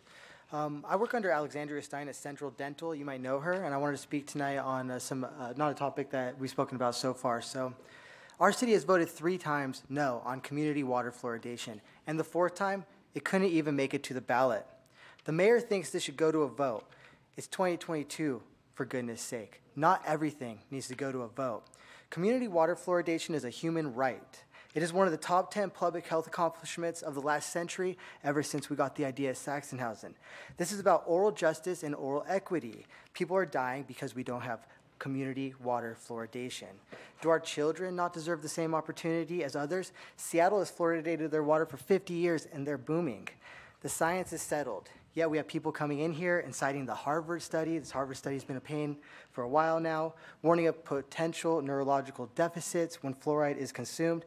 That's why we need water fluoridation now. We can't have people coming in here and citing the Harvard study. There's some other studies in here as well. I can pull up real quick. They're citing studies like um, epidemiological studies in recent years have found negative associations between fluoride and cognitive development. There's studies out of Mexico and Canada, which show these, and we can't afford to have people coming in here and speaking about these studies any longer. So, enough is enough. I developed an oral equity strategy. I believe that in the black, indigenous, and POC districts, and I say this as a Latinx myself, that we can do 700 parts per million fluoride in the water, and the whites can have seven parts fluoride in the water. I think this is the way that we can lead Spokane towards oral equity. What we need then is for the mayor to go on the local rap and reggaeton stations and to send the children this message drink the water, drink the tap water, drink it, drink it. In order to ensure oral equity and that parents don't filter the fluoride out of their children's water, we need to ban reverse osmosis machines. We can't trust the parents. Finally, I'm also sick of hearing about the river and the fluoride, the potential fluoride runoff. This is another example of human supremacy. So, what if the fish get fluoridated and their teeth are strong too? The fish deserve oral equity also. Thank you. Thanks for coming down, Justin. Uh, Cicely Hummer, then Kim Schmidt, then Melanie No, Hey. yeah. Hello, welcome. Thank you. Uh, my name is Cicely Hummer. Um, I'm a resident physician here in town. I moved here in 2020, right in the middle of COVID. So I got the fun time of being frontlines COVID as a new intern in the hospital. Um, when we moved here, um, I didn't really know what to expect. I came from Denver. Um, instantly, I loved it. So much so that my wife and I bought a house in West Hills. So, sorry to kind of keep harping on the same point, but I don't know. Um, I know we're not the South Hill, but we've got a really good neighborhood. You guys have heard from a bunch of wonderful individuals. We've got young people, we've got old people, we've got people with kids. I want to have kids and live in that area. I think it's one of the best areas of town with all the places where we can get to the parks. I'm an avid cyclist. I'm always biking either to Fish Lake or um, on the trails going out to Idaho or up into the forests. It's awesome. It's also super close to downtown, which is why it's so much fun for young young professionals. We can get out, we can go to dinner. It's super easy for me to get to the hospital. I love it. I think it's the best. Um, I think any community, if you put or try to put four shelters in a one mile radius, would be worried about the exact same thing. Especially when it just pops up overnight. We all hear about it on the news instead of from any sort of councilman or individual. And then I challenge all of you guys. So what I did today is try to Google what exactly is going on. You can't find it. You can't find anything from you guys. You can't find anything from Catholic Health Charities. It's just a bunch of rumors about all of it. Honestly, I don't even know what's true and what's not true. All I know is that we need clarity. Um, you know, I don't think anybody's opposed to having like one shelter. We understand we need to do our part as a neighborhood. Um, I just think that everybody kind of wants to know what's going to go down in our community. Um, we spend a lot of our savings on our house, you know, and if we, if we, it goes down and we lose a ton of money, like we'll be really behind the eight ball. Um, so thank you guys so much for your time. This is my first time being a part in something like this, and it's really cool. So thanks for listening. Thanks for coming down and thanks for practicing medicine here. We appreciate it. Um, all right, Kim Schmidt, and then I just have Melanie, no last name, and Crystal, and after that, Alexis. Yeah. Hi. Hello, Kim Schmidt from the Valley. Um, I wanted to bring something up because I missed this a while back. Um, this is a uh, letter of award dated February 1st, uh, 2021. Uh, this letter was written by Chief Meidl. Um, Captain Tracy Meidl had nominated Lieutenant Overhoff for the Medal of Merit Award. Uh, Chief Meidl decided that he was more, um, the Distinguished Service Medal was more up his alley. Um, the Distinguished Service Medal is awarded to employees who have demonstrated outstanding, sustained, and exemplary performance along with diligence and devotion to duty. So, this is part of the memo, and I'll post this later. Um, over the past two years, Lieutenant Overhoff has led the TAC team on deployments to demonstrations and protests at Planned Parenthood, many occurring weekly. We know that's monthly. These events started out as inconsistent meetings organized by some community members and grew to be very large gatherings, which garnered a great deal of media attention and additional protesters with varying opinions. I'm one of those varying opinion protesters, as you all know. Um, as these demonstrations continued to grow in numbers and in media attention, Lieutenant Overhoff continued to adjust the way the team conducted their operations. He works with other SPD personnel and city departments to facilitate investigations and reports of potential criminal activity in order to hold all participants accountable for their behavior. This is not an easy task, as each incident within each event is looked at under extreme scrutiny with hindsight. Lieutenant Overhoff continues to represent the Spokane Police Department in the best light possible.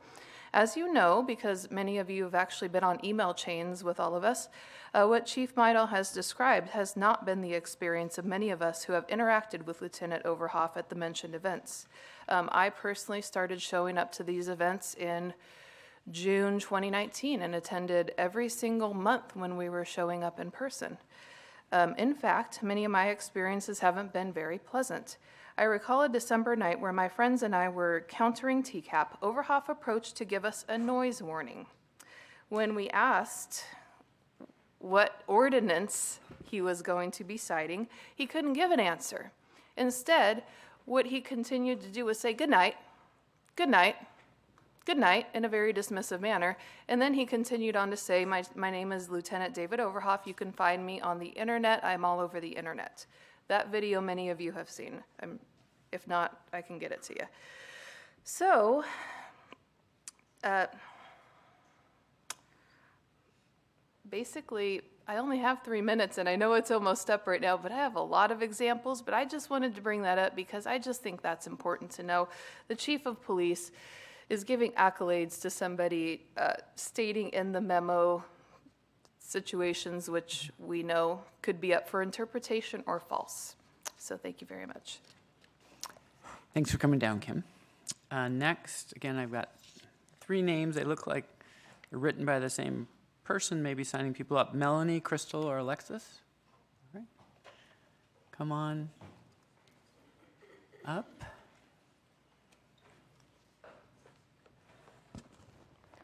Hi.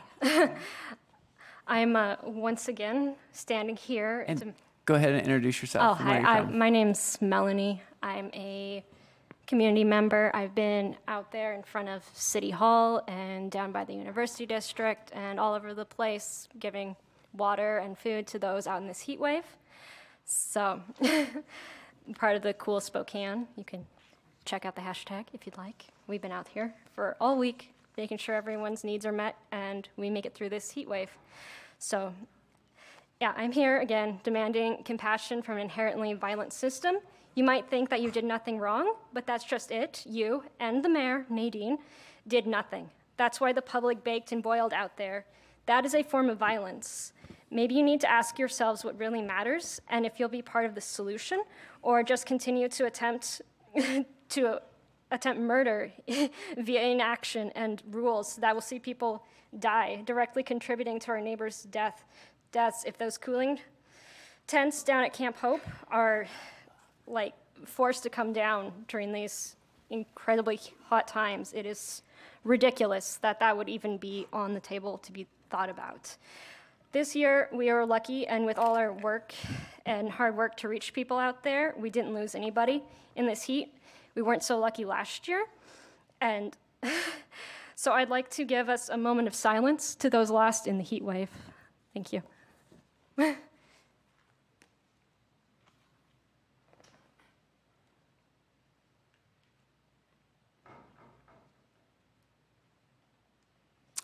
Thank you, Melanie.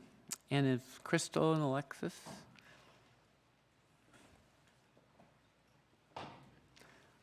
Welcome, Crystal. You have up to three minutes. Hello, I am Crystal Yosko Somberget. I am a Spokane resident downtown at the moment, co-founder at Mac Movement.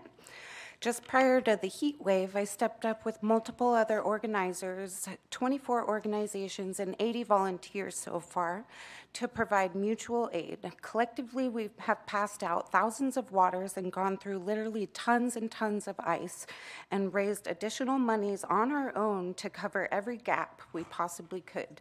Let me tell you, I have three children, two jobs, and a nonprofit. Adding Cool Spokane to my plate was an unexpected necessity for community care and emergency aid. Due to our city leaders, along with Nadine Woodward, failing over 1,700 of my Spokane neighbors during this heat wave. Last year, there were 21 deaths from extreme heat. This year, we had zero. That's thanks to Cool Spokane, and I believe they deserve a little credit for that. We're already stretching funding, coordinators, and volunteers very thin. I'm hopeful, hopeful with this group you'll find a prime example moving forward to prepare for the next heat wave. If you aren't planning something other than outright neglect, fund us. Give Cool Spokane the credit and compensation they deserve for saving the lives of your constituents. Thank you. I would like the rest of my time also uh, dedicated to a moment of silence for those lost last year.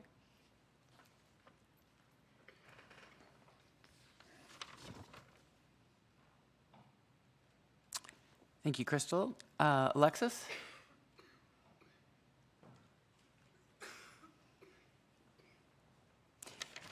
And after Alexis, it's uh, Christine Quinn, and then Susan Menching. Hi, I'm Alexis Tonasket. I am a descendant of uh, Chief Joseph Tonasket. So I'm also um, in relationship with this land. And it is traditional to this land that a community looks very differently than it does right now. Um, traditionally, to this land, a community is a group of people who take care of each other and who make sure that everyone survives. Um, something that this uh, the city's current plans is missing is direct experience. So a lot of people, including myself, I've been working with Cool Spokane. I put in just over 20 hours this week out on the streets. I actually passed out on Saturday um, because being out in the elements was just really tough on my body. Um, so I can't imagine how people are surviving out there for consecutive days and nights. Uh, luckily, I was at home with my husband and he helped me out. Um, so we're missing direct experience. People who have not had direct experience being homeless, being severely impoverished, or having someone they love go through that and actually being there with them and having empathy for them, you cannot come up with a plan that's going to work. You just don't understand that reality, and, and that's how this goes.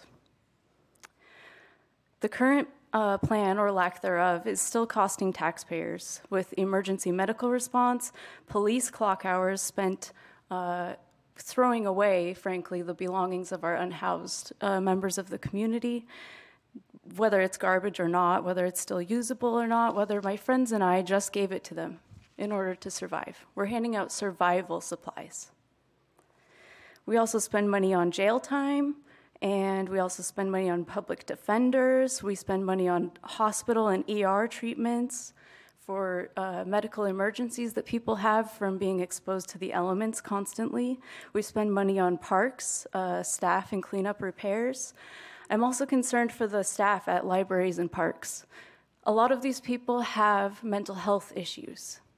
Our staff at the library and parks are not equipped to deal with that problem. Um, it's also a, a public health emergency. We are spreading disease. When people don't have access to, to restrooms, they're going to go wherever they can, and that spreads disease. That's scientific knowledge. I'm not sure why we're trying to move back in time and not understand that. It's really shameful. No one aspires to be unhoused or addicted. When you're talking to a little kid, nobody ever would dream of ending up there. But the reality is, a lot of us are one or two paychecks away from ending up there. So we really have to figure out something else because this is a black hole and it's affecting all of us. Thanks for coming down. Uh, next is Christine Quinn, and then Susan Menching, and then I'm not quite able to read it. I can't decide if it's Paula or Jacob Duffy from West Hills. If there's someone like that. Come on. Hi, my name is Christine Quinn, and I live in West Hills. um, my neighbors have said everything exceedingly well. Um, so I'm going to add something, and that is when you come into Spokane, you typically are coming through that area, and aesthetically, having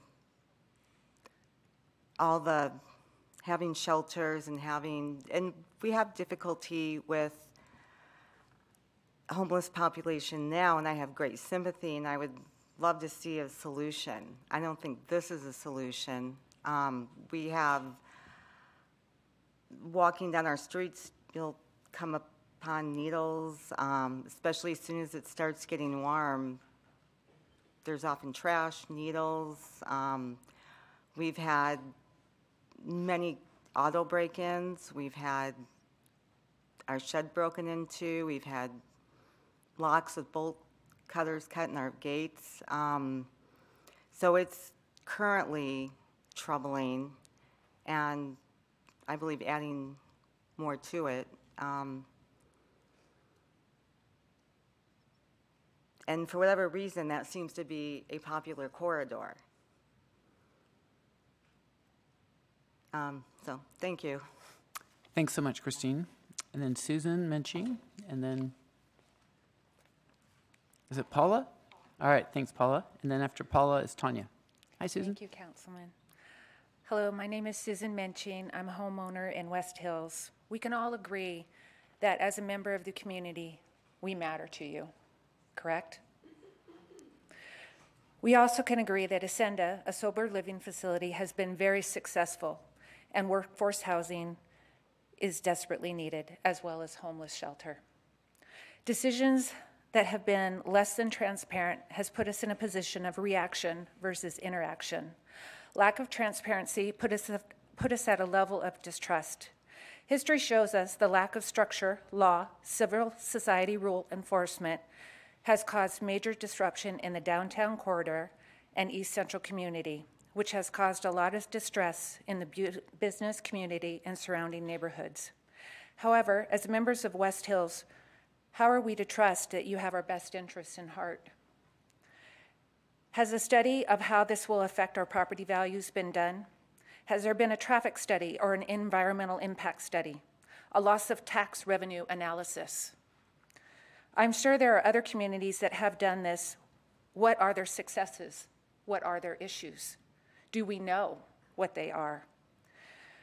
As you've heard, the West Hills is in prime for revitalization investment, workforce housing, retail, all producing tax revenue. We've discussed that much in depth earlier. Without transparency, we are left with a list of questions and little answers. Will there be curfews, background checks, job requirements? What about the safety of the members of the community?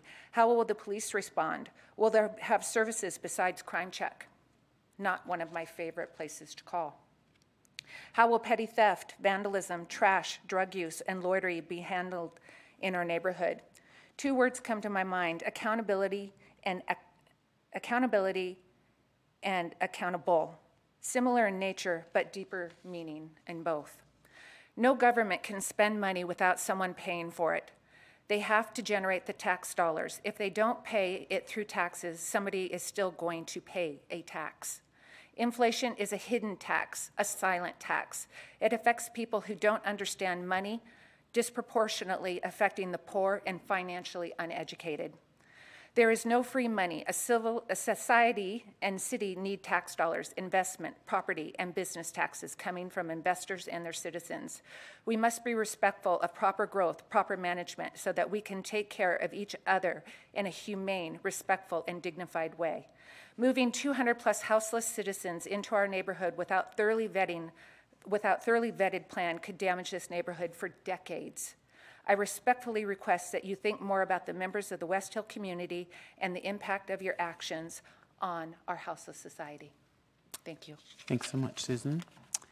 And then Paula, and then Tanya C., and then Hadley Morrow. Hello, I'm Paula Swan. Thank you. Uh, I am a West Hills uh, resident, and I uh, would live across the street from the proposed pallet house. Um, by its very nature, when you qualify housing with the term low barrier, um, that adjective indicates significant problems, probably not only for the residents of the uh, housing, but for the residents of the area. And we have seen in the news recently the impact that not even an international company like Starbucks, when they decided to implement effectively low barrier operations in certain of their stores, that they had to close them down for the safety of their employees. So I ask you, obviously, this is a rhetorical question, this um, isn't a conversation, but I ask you, how would you feel and how would you react if somebody wanted to put low barrier housing on your street. Thank you. Thank you, Paula. Then is Tanya C. here? Hi, Tanya, come on up. After Tanya is Hadley, and then we're going to take a short break.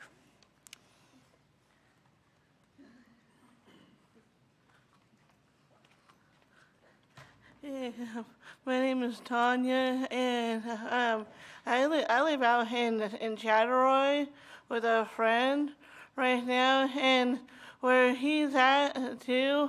Um, my, my, it, it's hard for people to talk on their phones inside their um, trailers, and and someone needs to come out there, you know, and and um, work on the internet thing out there, you know, because because we we we feel like they they they, they don't want us to talk inside uh, in the trailers out there, you know, and and the, and and it's hard for us to talk in the in the our trailers, and they and we need they need to um, hurry with the transportations out there too, you know, because there because there's some people out there that I know that need it too.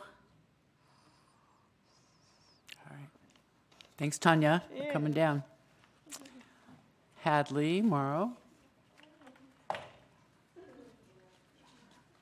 Good evening, Council. My name is Hadley Morrow. I'm a District 2 resident. I'm speaking here just as an individual community organizer, not with any of my roles in the community. Um, this week, I had the honor of volunteering with the Cool Spokane pop up movement.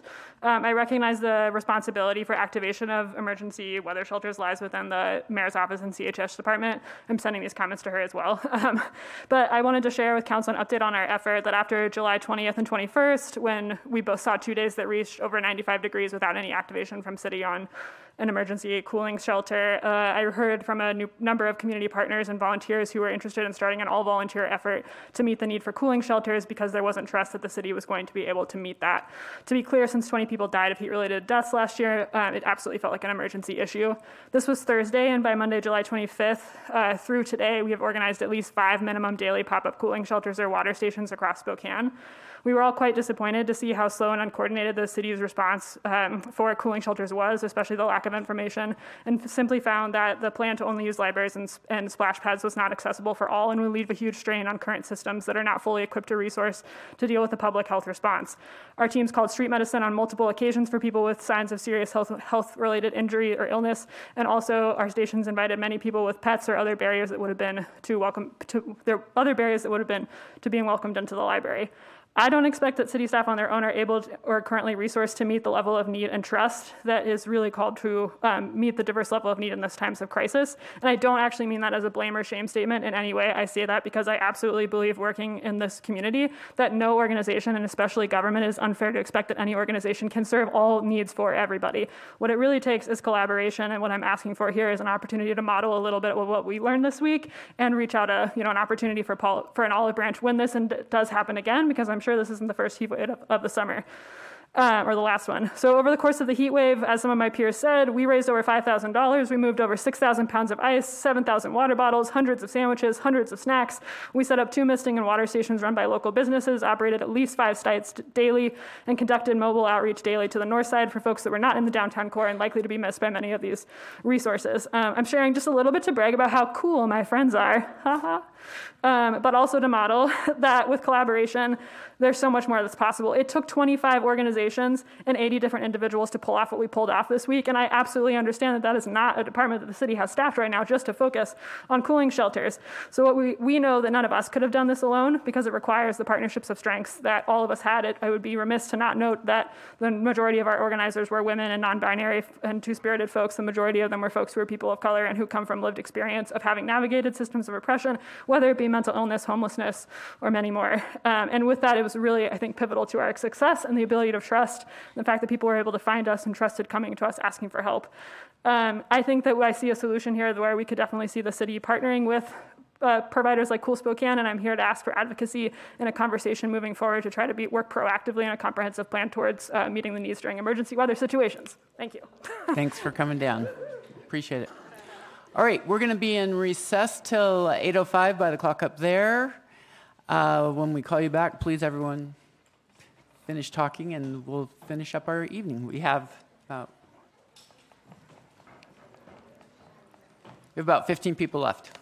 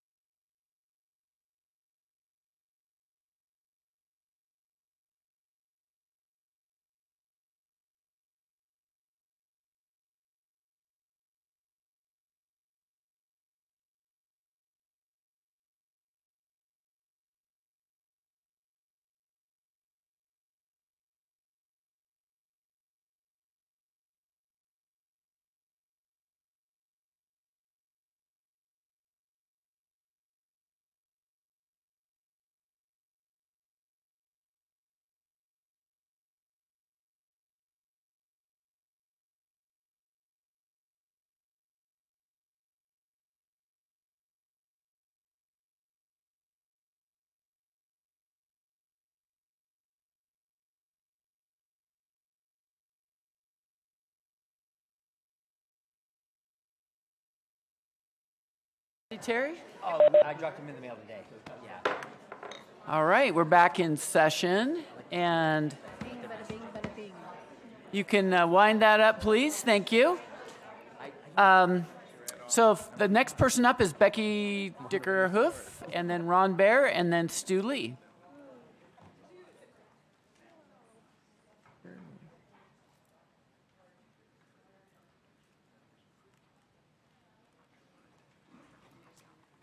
All right, welcome. Hello there. I'm Becky Dickerhoof from the city of Spokane. I was concerned today because I was watching the city council briefing, and a couple of things came up that struck me.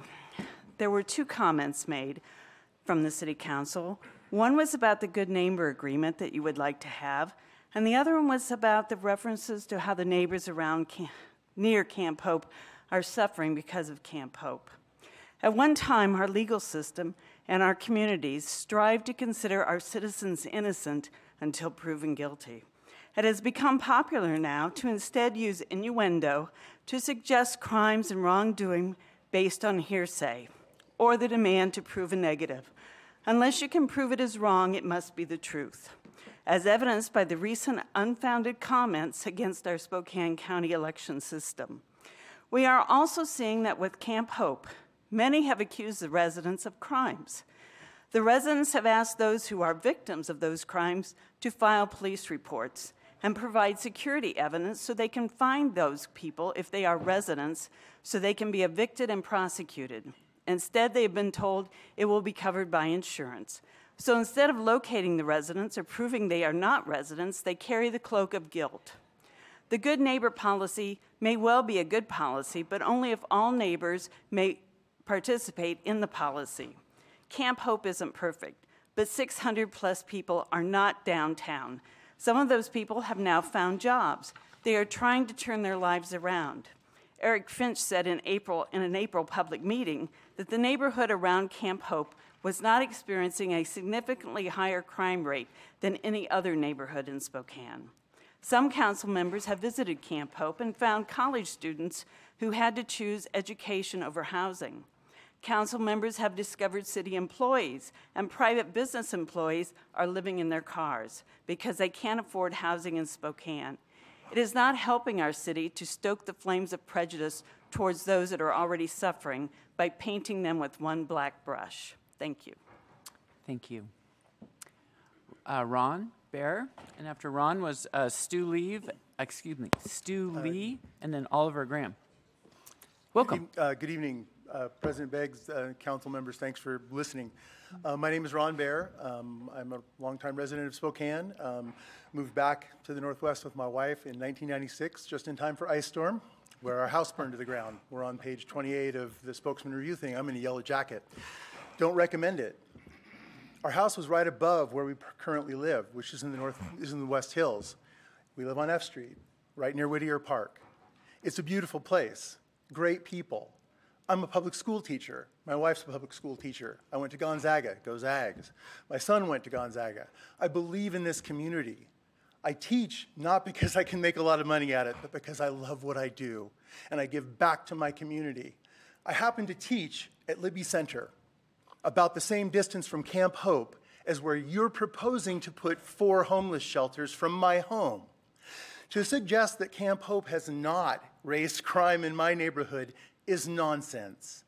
I walk out every day with 29 students and put them on the bus. I have had to shuttle them inside as security came to take the naked man running down the street away.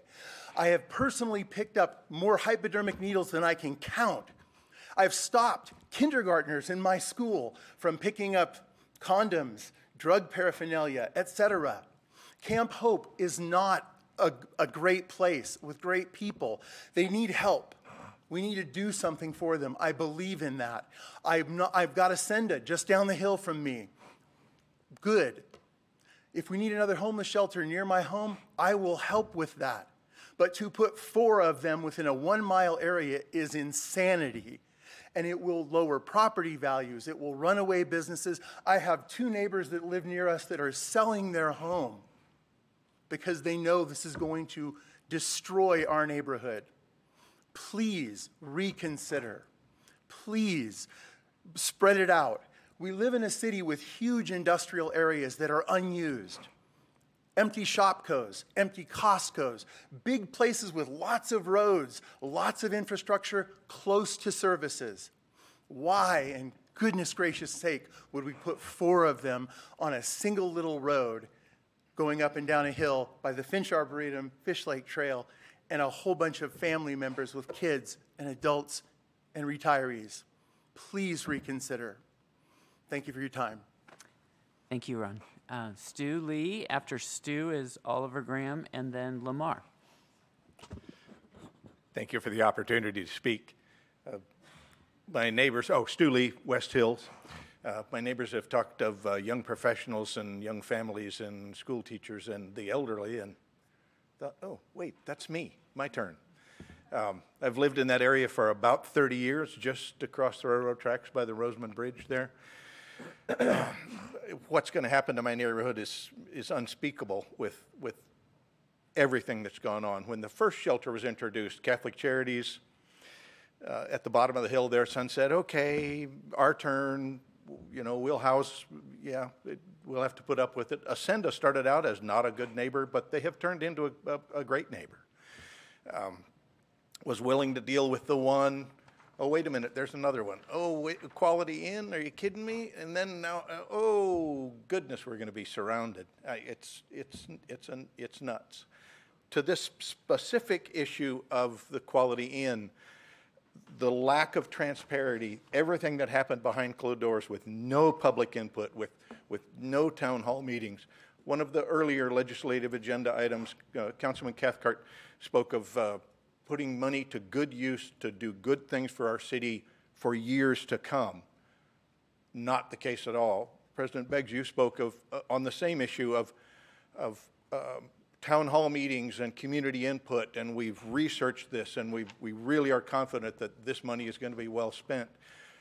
Specifically with the Quality Inn, there was zero, no communications with the neighbors, no public input at all no comments made, no, it, it, it you know, it, it's, I, I, it, insanity. The last gentleman said insanity. It is. Like you can't, you're just going to stick all this in our neighborhood and my, my property values are going to go down. I'm sure my taxes won't go down. Do I get a grant for a fence to put around my property to, to keep ne'er-do-wells out because you're going to surround my house? I, uh, the Empire Health Foundation's property, I could hit it with a six iron out of my front yard and a driver and a four wood up the hill to the other one. It's, it's, uh, it's crazy. It's, I don't know, anyway. Good neighbors. Catholic Charities, if you go downtown, I used to have an office at West 41 Main, a half a block from the original uh, House of Charity. Horrible neighbor. The new House of Charity, I have friends with an office a half a block from that one. They are a horrible neighbor. They're good people. They're nice people that want to do good things. They are not good neighbors. They don't have to deal with what goes on around. They come in, deal with the people, and then they go home. But anyway, I'm, uh, I, I'm, I'm devastated that, that what is a unique, wonderful neighborhood, Whittier neighborhood, is, is going to be thrown out by the, by the city council.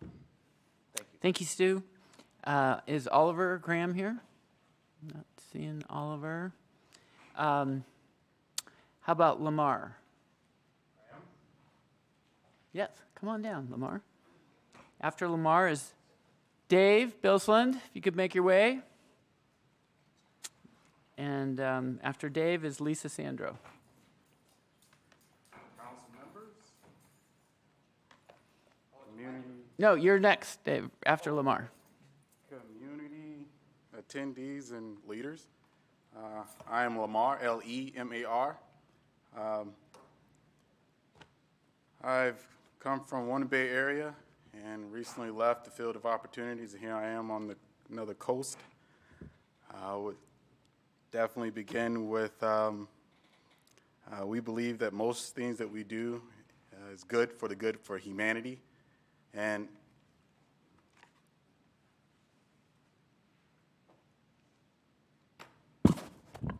we believe that most things that we do is for the good for humanity. Uh, and after five or 4.7 billion years of natural power resources and another 30,000 average of the human lifespan.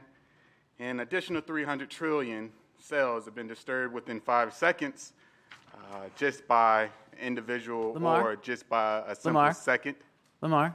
I am. I, we need you to address the council president. That's one of the things. So I need you to go back to the normal place. I don't think the mic's supposed to bend that way. So No? Yeah. So if Well, you it's could, bending. I know, but if you could go back and address your comments to me, I failed to say that specifically, but if you could just speak to me. Oops.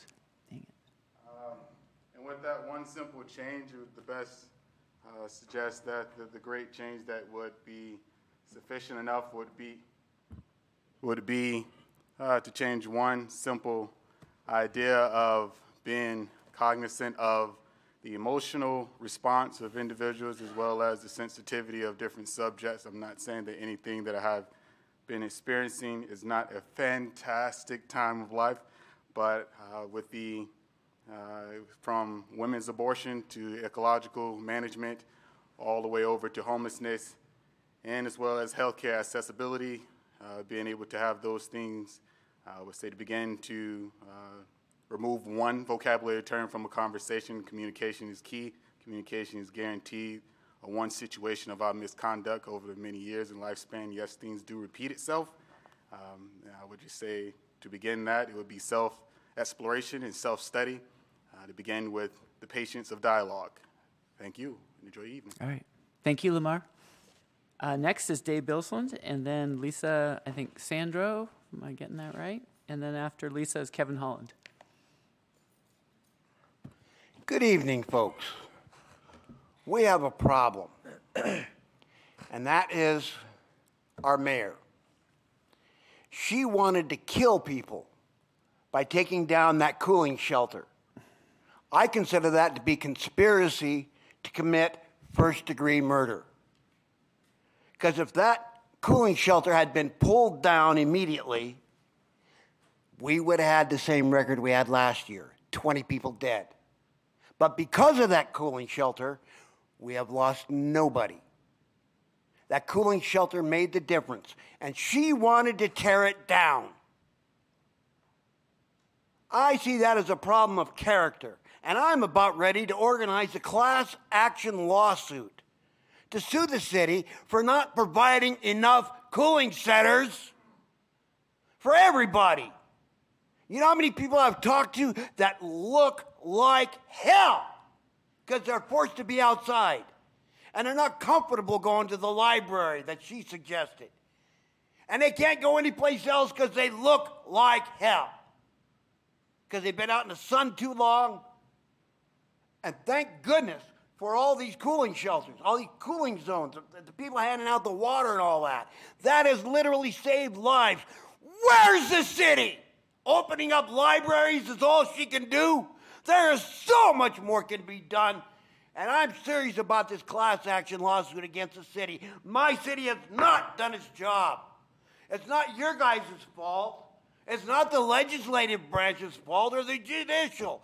It's the executive branch that is falling down and is not exe- executing all the appropriate ordinances, like opening up cooling shelters. Like when we get smoke in this next month or two, how about some place for somebody like me with COP to go? I've got COPD.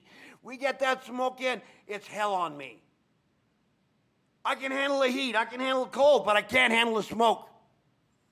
Are there going to be shelters where I can get some clean air? I think not. I don't expect it because there weren't any place to go except the damn library. We need more places for people to go. We need more things like Jewels Helping Hands providing a major cooling thing. Where was the city? Where's the city's emergency services? Where's the county emergency services? Huh? Wasn't this a freaking emergency? Thanks for coming down, Dave. Lisa Sandro, and then Kevin Holland, and then J.E. McHugh. Hi there. My name is Lisa Genova Sandbo. Um, just a quick background on me. I grew up in Spokane, born and raised here, lived out in the valley. Left at 18, went to school in Seattle, left, lived there for 30 years, and have moved back just before COVID, uh, right before we came back into this area because it's home. Fell in love with the West Hills neighborhood. It's a fantastic area. It's, it's diverse for Spokane. It's as diverse as you're going to get economically. Um, you've got starter homes. You've got homes for people from $200,000 range on up to a million dollars in these neighborhoods, which are being completely overlooked by this entire process. I feel like that Sunset Bridge there where the river is, just a real easy natural barrier to push this Camp Hope straight up Sunset Highway and turn it into Skid Row. It'll be out of sight and out of mind for a lot of people. The, it'll be real simple. Nobody will see it along the highway anymore. That's just kind of where it's going to go. I feel like this neighborhood has been very respectful to Catholic Charities when they opened, when they came to us and wanted to open that low barrier, the, or not, sorry, not the low barrier, that's the issue. Um, open the um, mother, the women and children's shelter. I think that's fantastic. I was a big supporter of Mary's Place in Seattle. It's a fantastic um, charity. It's a, I think that's a great program. But to open this up to low barrier opens it up to literally sex offenders, pedophiles, rapists, murderers. You don't know what's coming and going. You put three or four of these into this neighborhood. I've heard rumors of a soup kitchen. I don't know if that's true or not. You are just going to have people drifting right on up Sunset Hill Skid Row and taking over Finch Arboretum. It will be an entire tent shelter. I've lived it once and I will see it again if you allow this to kind of go on. Um, I've also never seen a city step over so much money. The biggest complaint I see in Spokane is there's no housing. There's no housing. We need housing, da da da da. You have people who have stepped up and bought this property and are desperately trying to build apartments, 500 plus apartments for people in Spokane who need housing. And it's going to go by. Uh, you're, you're choosing this over that. You're stepping over dollars to pick up needles, essentially, those tax dollars. And I also just want to say it's also your job, the city council, to keep our community safe. And I feel like that's not even happening. All we are looking at is what's going on with um, this homeless shelter, these low barrier shelters, which are not safe. And we deserve to be represented also in this. Thank you. That's all I have to say. Thank you, Lisa. yeah. Kevin, welcome. After Kevin is J.E. McHugh, and then we're going to take Emily Peters by phone. Good evening, Council. My name is Kevin Holland. I live in Spokane, and I, like many others here today, live in the West Hills neighborhood. Um, I've lived in the, the neighborhood for over 25 years. I've owned more than seven properties in the neighborhood. I've done everything I can over the last 25 years to try and bring the neighborhood up, help the neighborhood. I was city council or, or sorry, neighborhood council president for a number of years.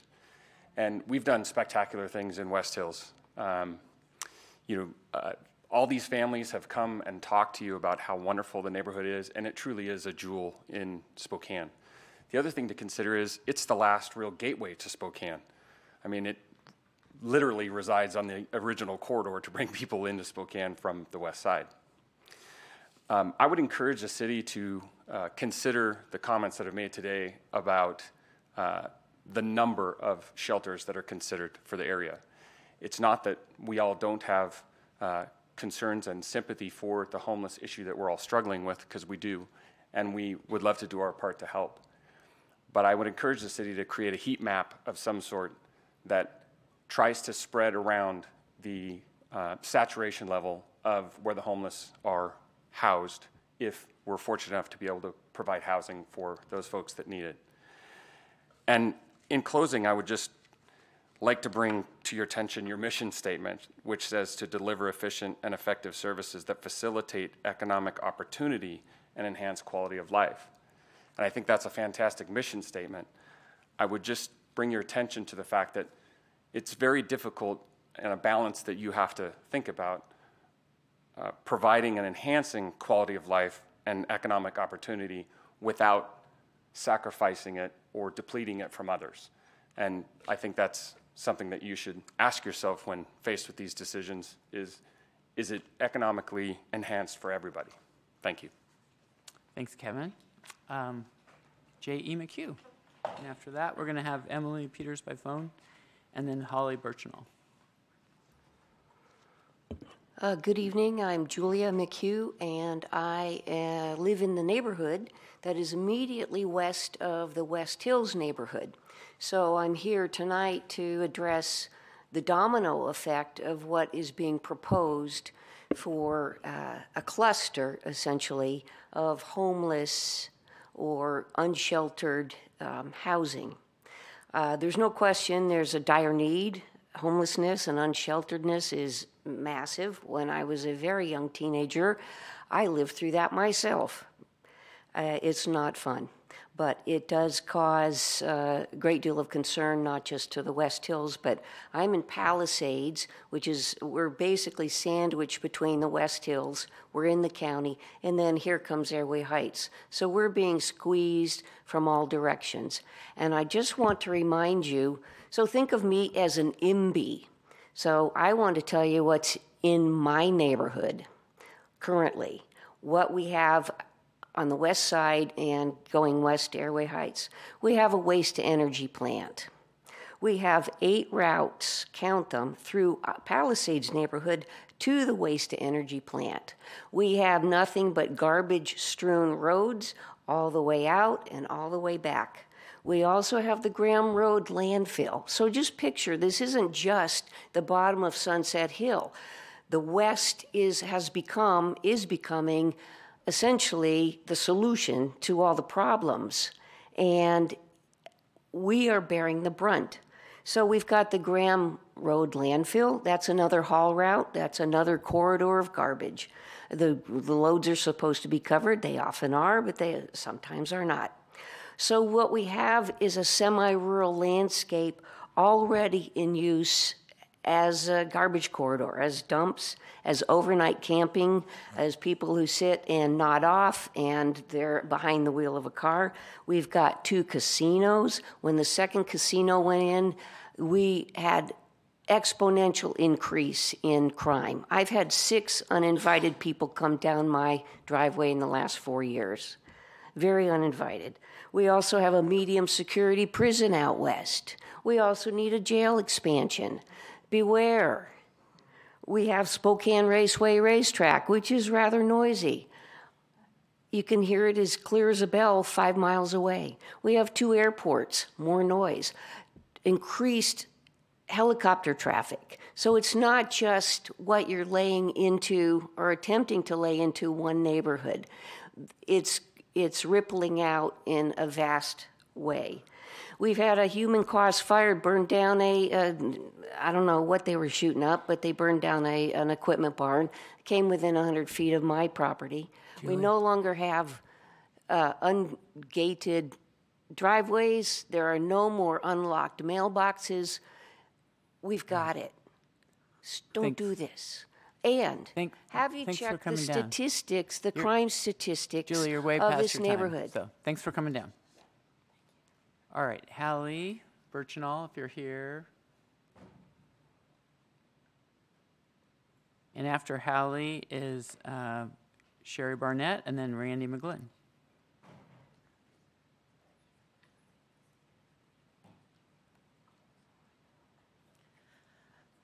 Hi, my name is Hallie Birchnell. I reside in the city of Spokane, and um, I'm also a, found, a, a co-founder of Compassionate Addiction Treatment. Pardon me. Our team participated uh, in Cool Spokane, and I just wanted to um, bounce off of what Hadley shared. Um, I feel like Cool Spokane did an incredible job of showing how simple it really is to collaborate for a solution as a community and how to work together in large partnerships for a common goal without making it political. And um, I think that that is what we're lacking right now in regards to um, the needs of the people residing at Camp Hope is, um, is stepping back, dropping the politics, and simply collaborating. As I listened today to the people from, is it West Hills? From, from right, there's so many, from West Hills, um, I was struck by their experience mirroring, mirroring what our experience as a nonprofit has went through in the recent processes surrounding the needs of Camp Hope and the right-of-way funding. And that's um, the complete lack of transparency from our city and um, a sense of feeling thrown under the bus, undervalued, underseen, um, kind of just rubbed away. And, and so I want you guys to know it's not just you, it's, it's across the board. Um, it's very frustrating for all of us. And I feel like if, if, if those of us that, that did Cool Spokane could sit down with those folks from West Hills and like we could all actually just have conversations that drop the political spin and, and talk. And I don't mean just West Hills, but all, all, all partners within this city, we really could come up with some amazing, beautiful solutions. So I just want to throw that out, that out there. We can do this, and I don't know what council can do to help support that effort. Um, I just ask that if you can help, please do. Thank you. Thanks, Hallie. And Sherry, before you come up, I, for, I for, mentioned we were having Emily Peters on the phone, and then I forgot her for a moment. So, Emily, if you're there, if you want to hit star three.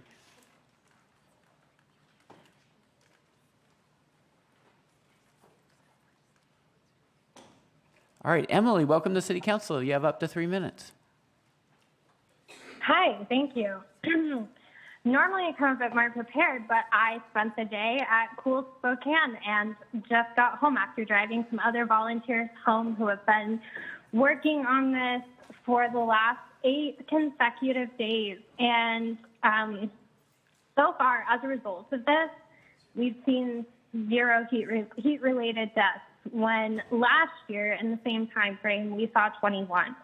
Um, this really proves that an approach like this, a multifaceted approach where we're doing mobile outreach, we're meeting people where they are, and we're providing essential things like food and water um, at various locations in the downtown corridor and at Camp Hope.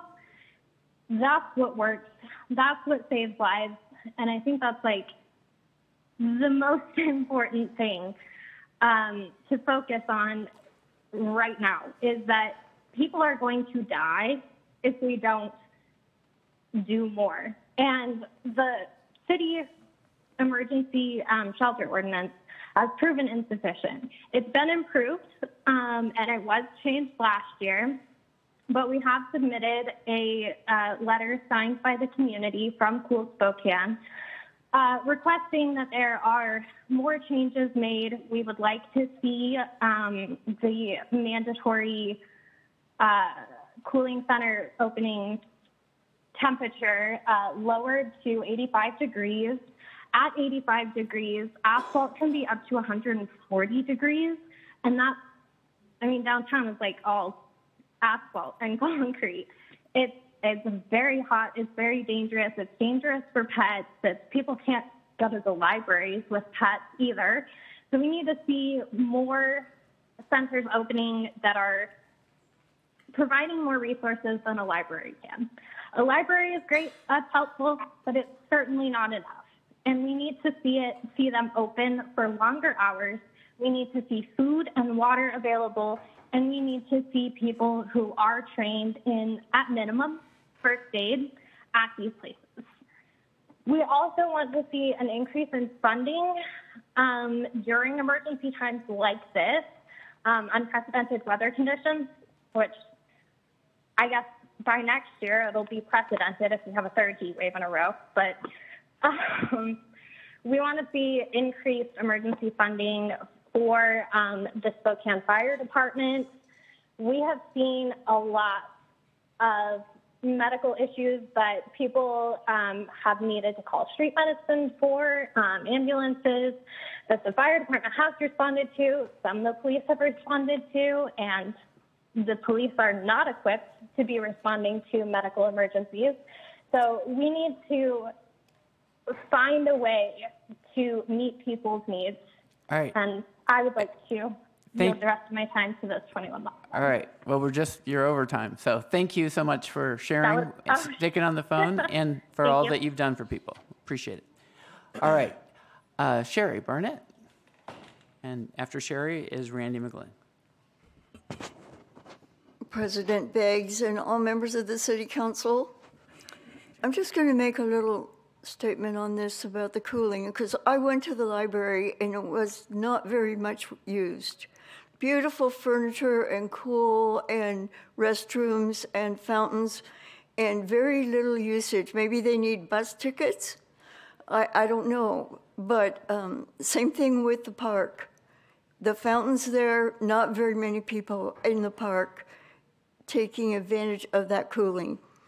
But the main thing that I wanted to talk about and um, why I came doing this all in the very beginning is because the time that we're in right now, we're in the end of time. We're in the time where the Lord's forces and the enemy's forces are going to come into a great battle. And we're allowing lawlessness to grow in our country. Remember, Tocqueville, when he studied to see the greatness of America, he found it in the churches and in the righteousness and in the, the love they had for their country and in their can do attitudes. But he said, when America is no longer good, America will no longer be great. And we, nobody is owed everything. We all have to help. We all have to help with this homeless thing. And there is a lot going on. Some people are coming here that are not from here. I think we need to make a deep study, but we do need to help and keep people alive.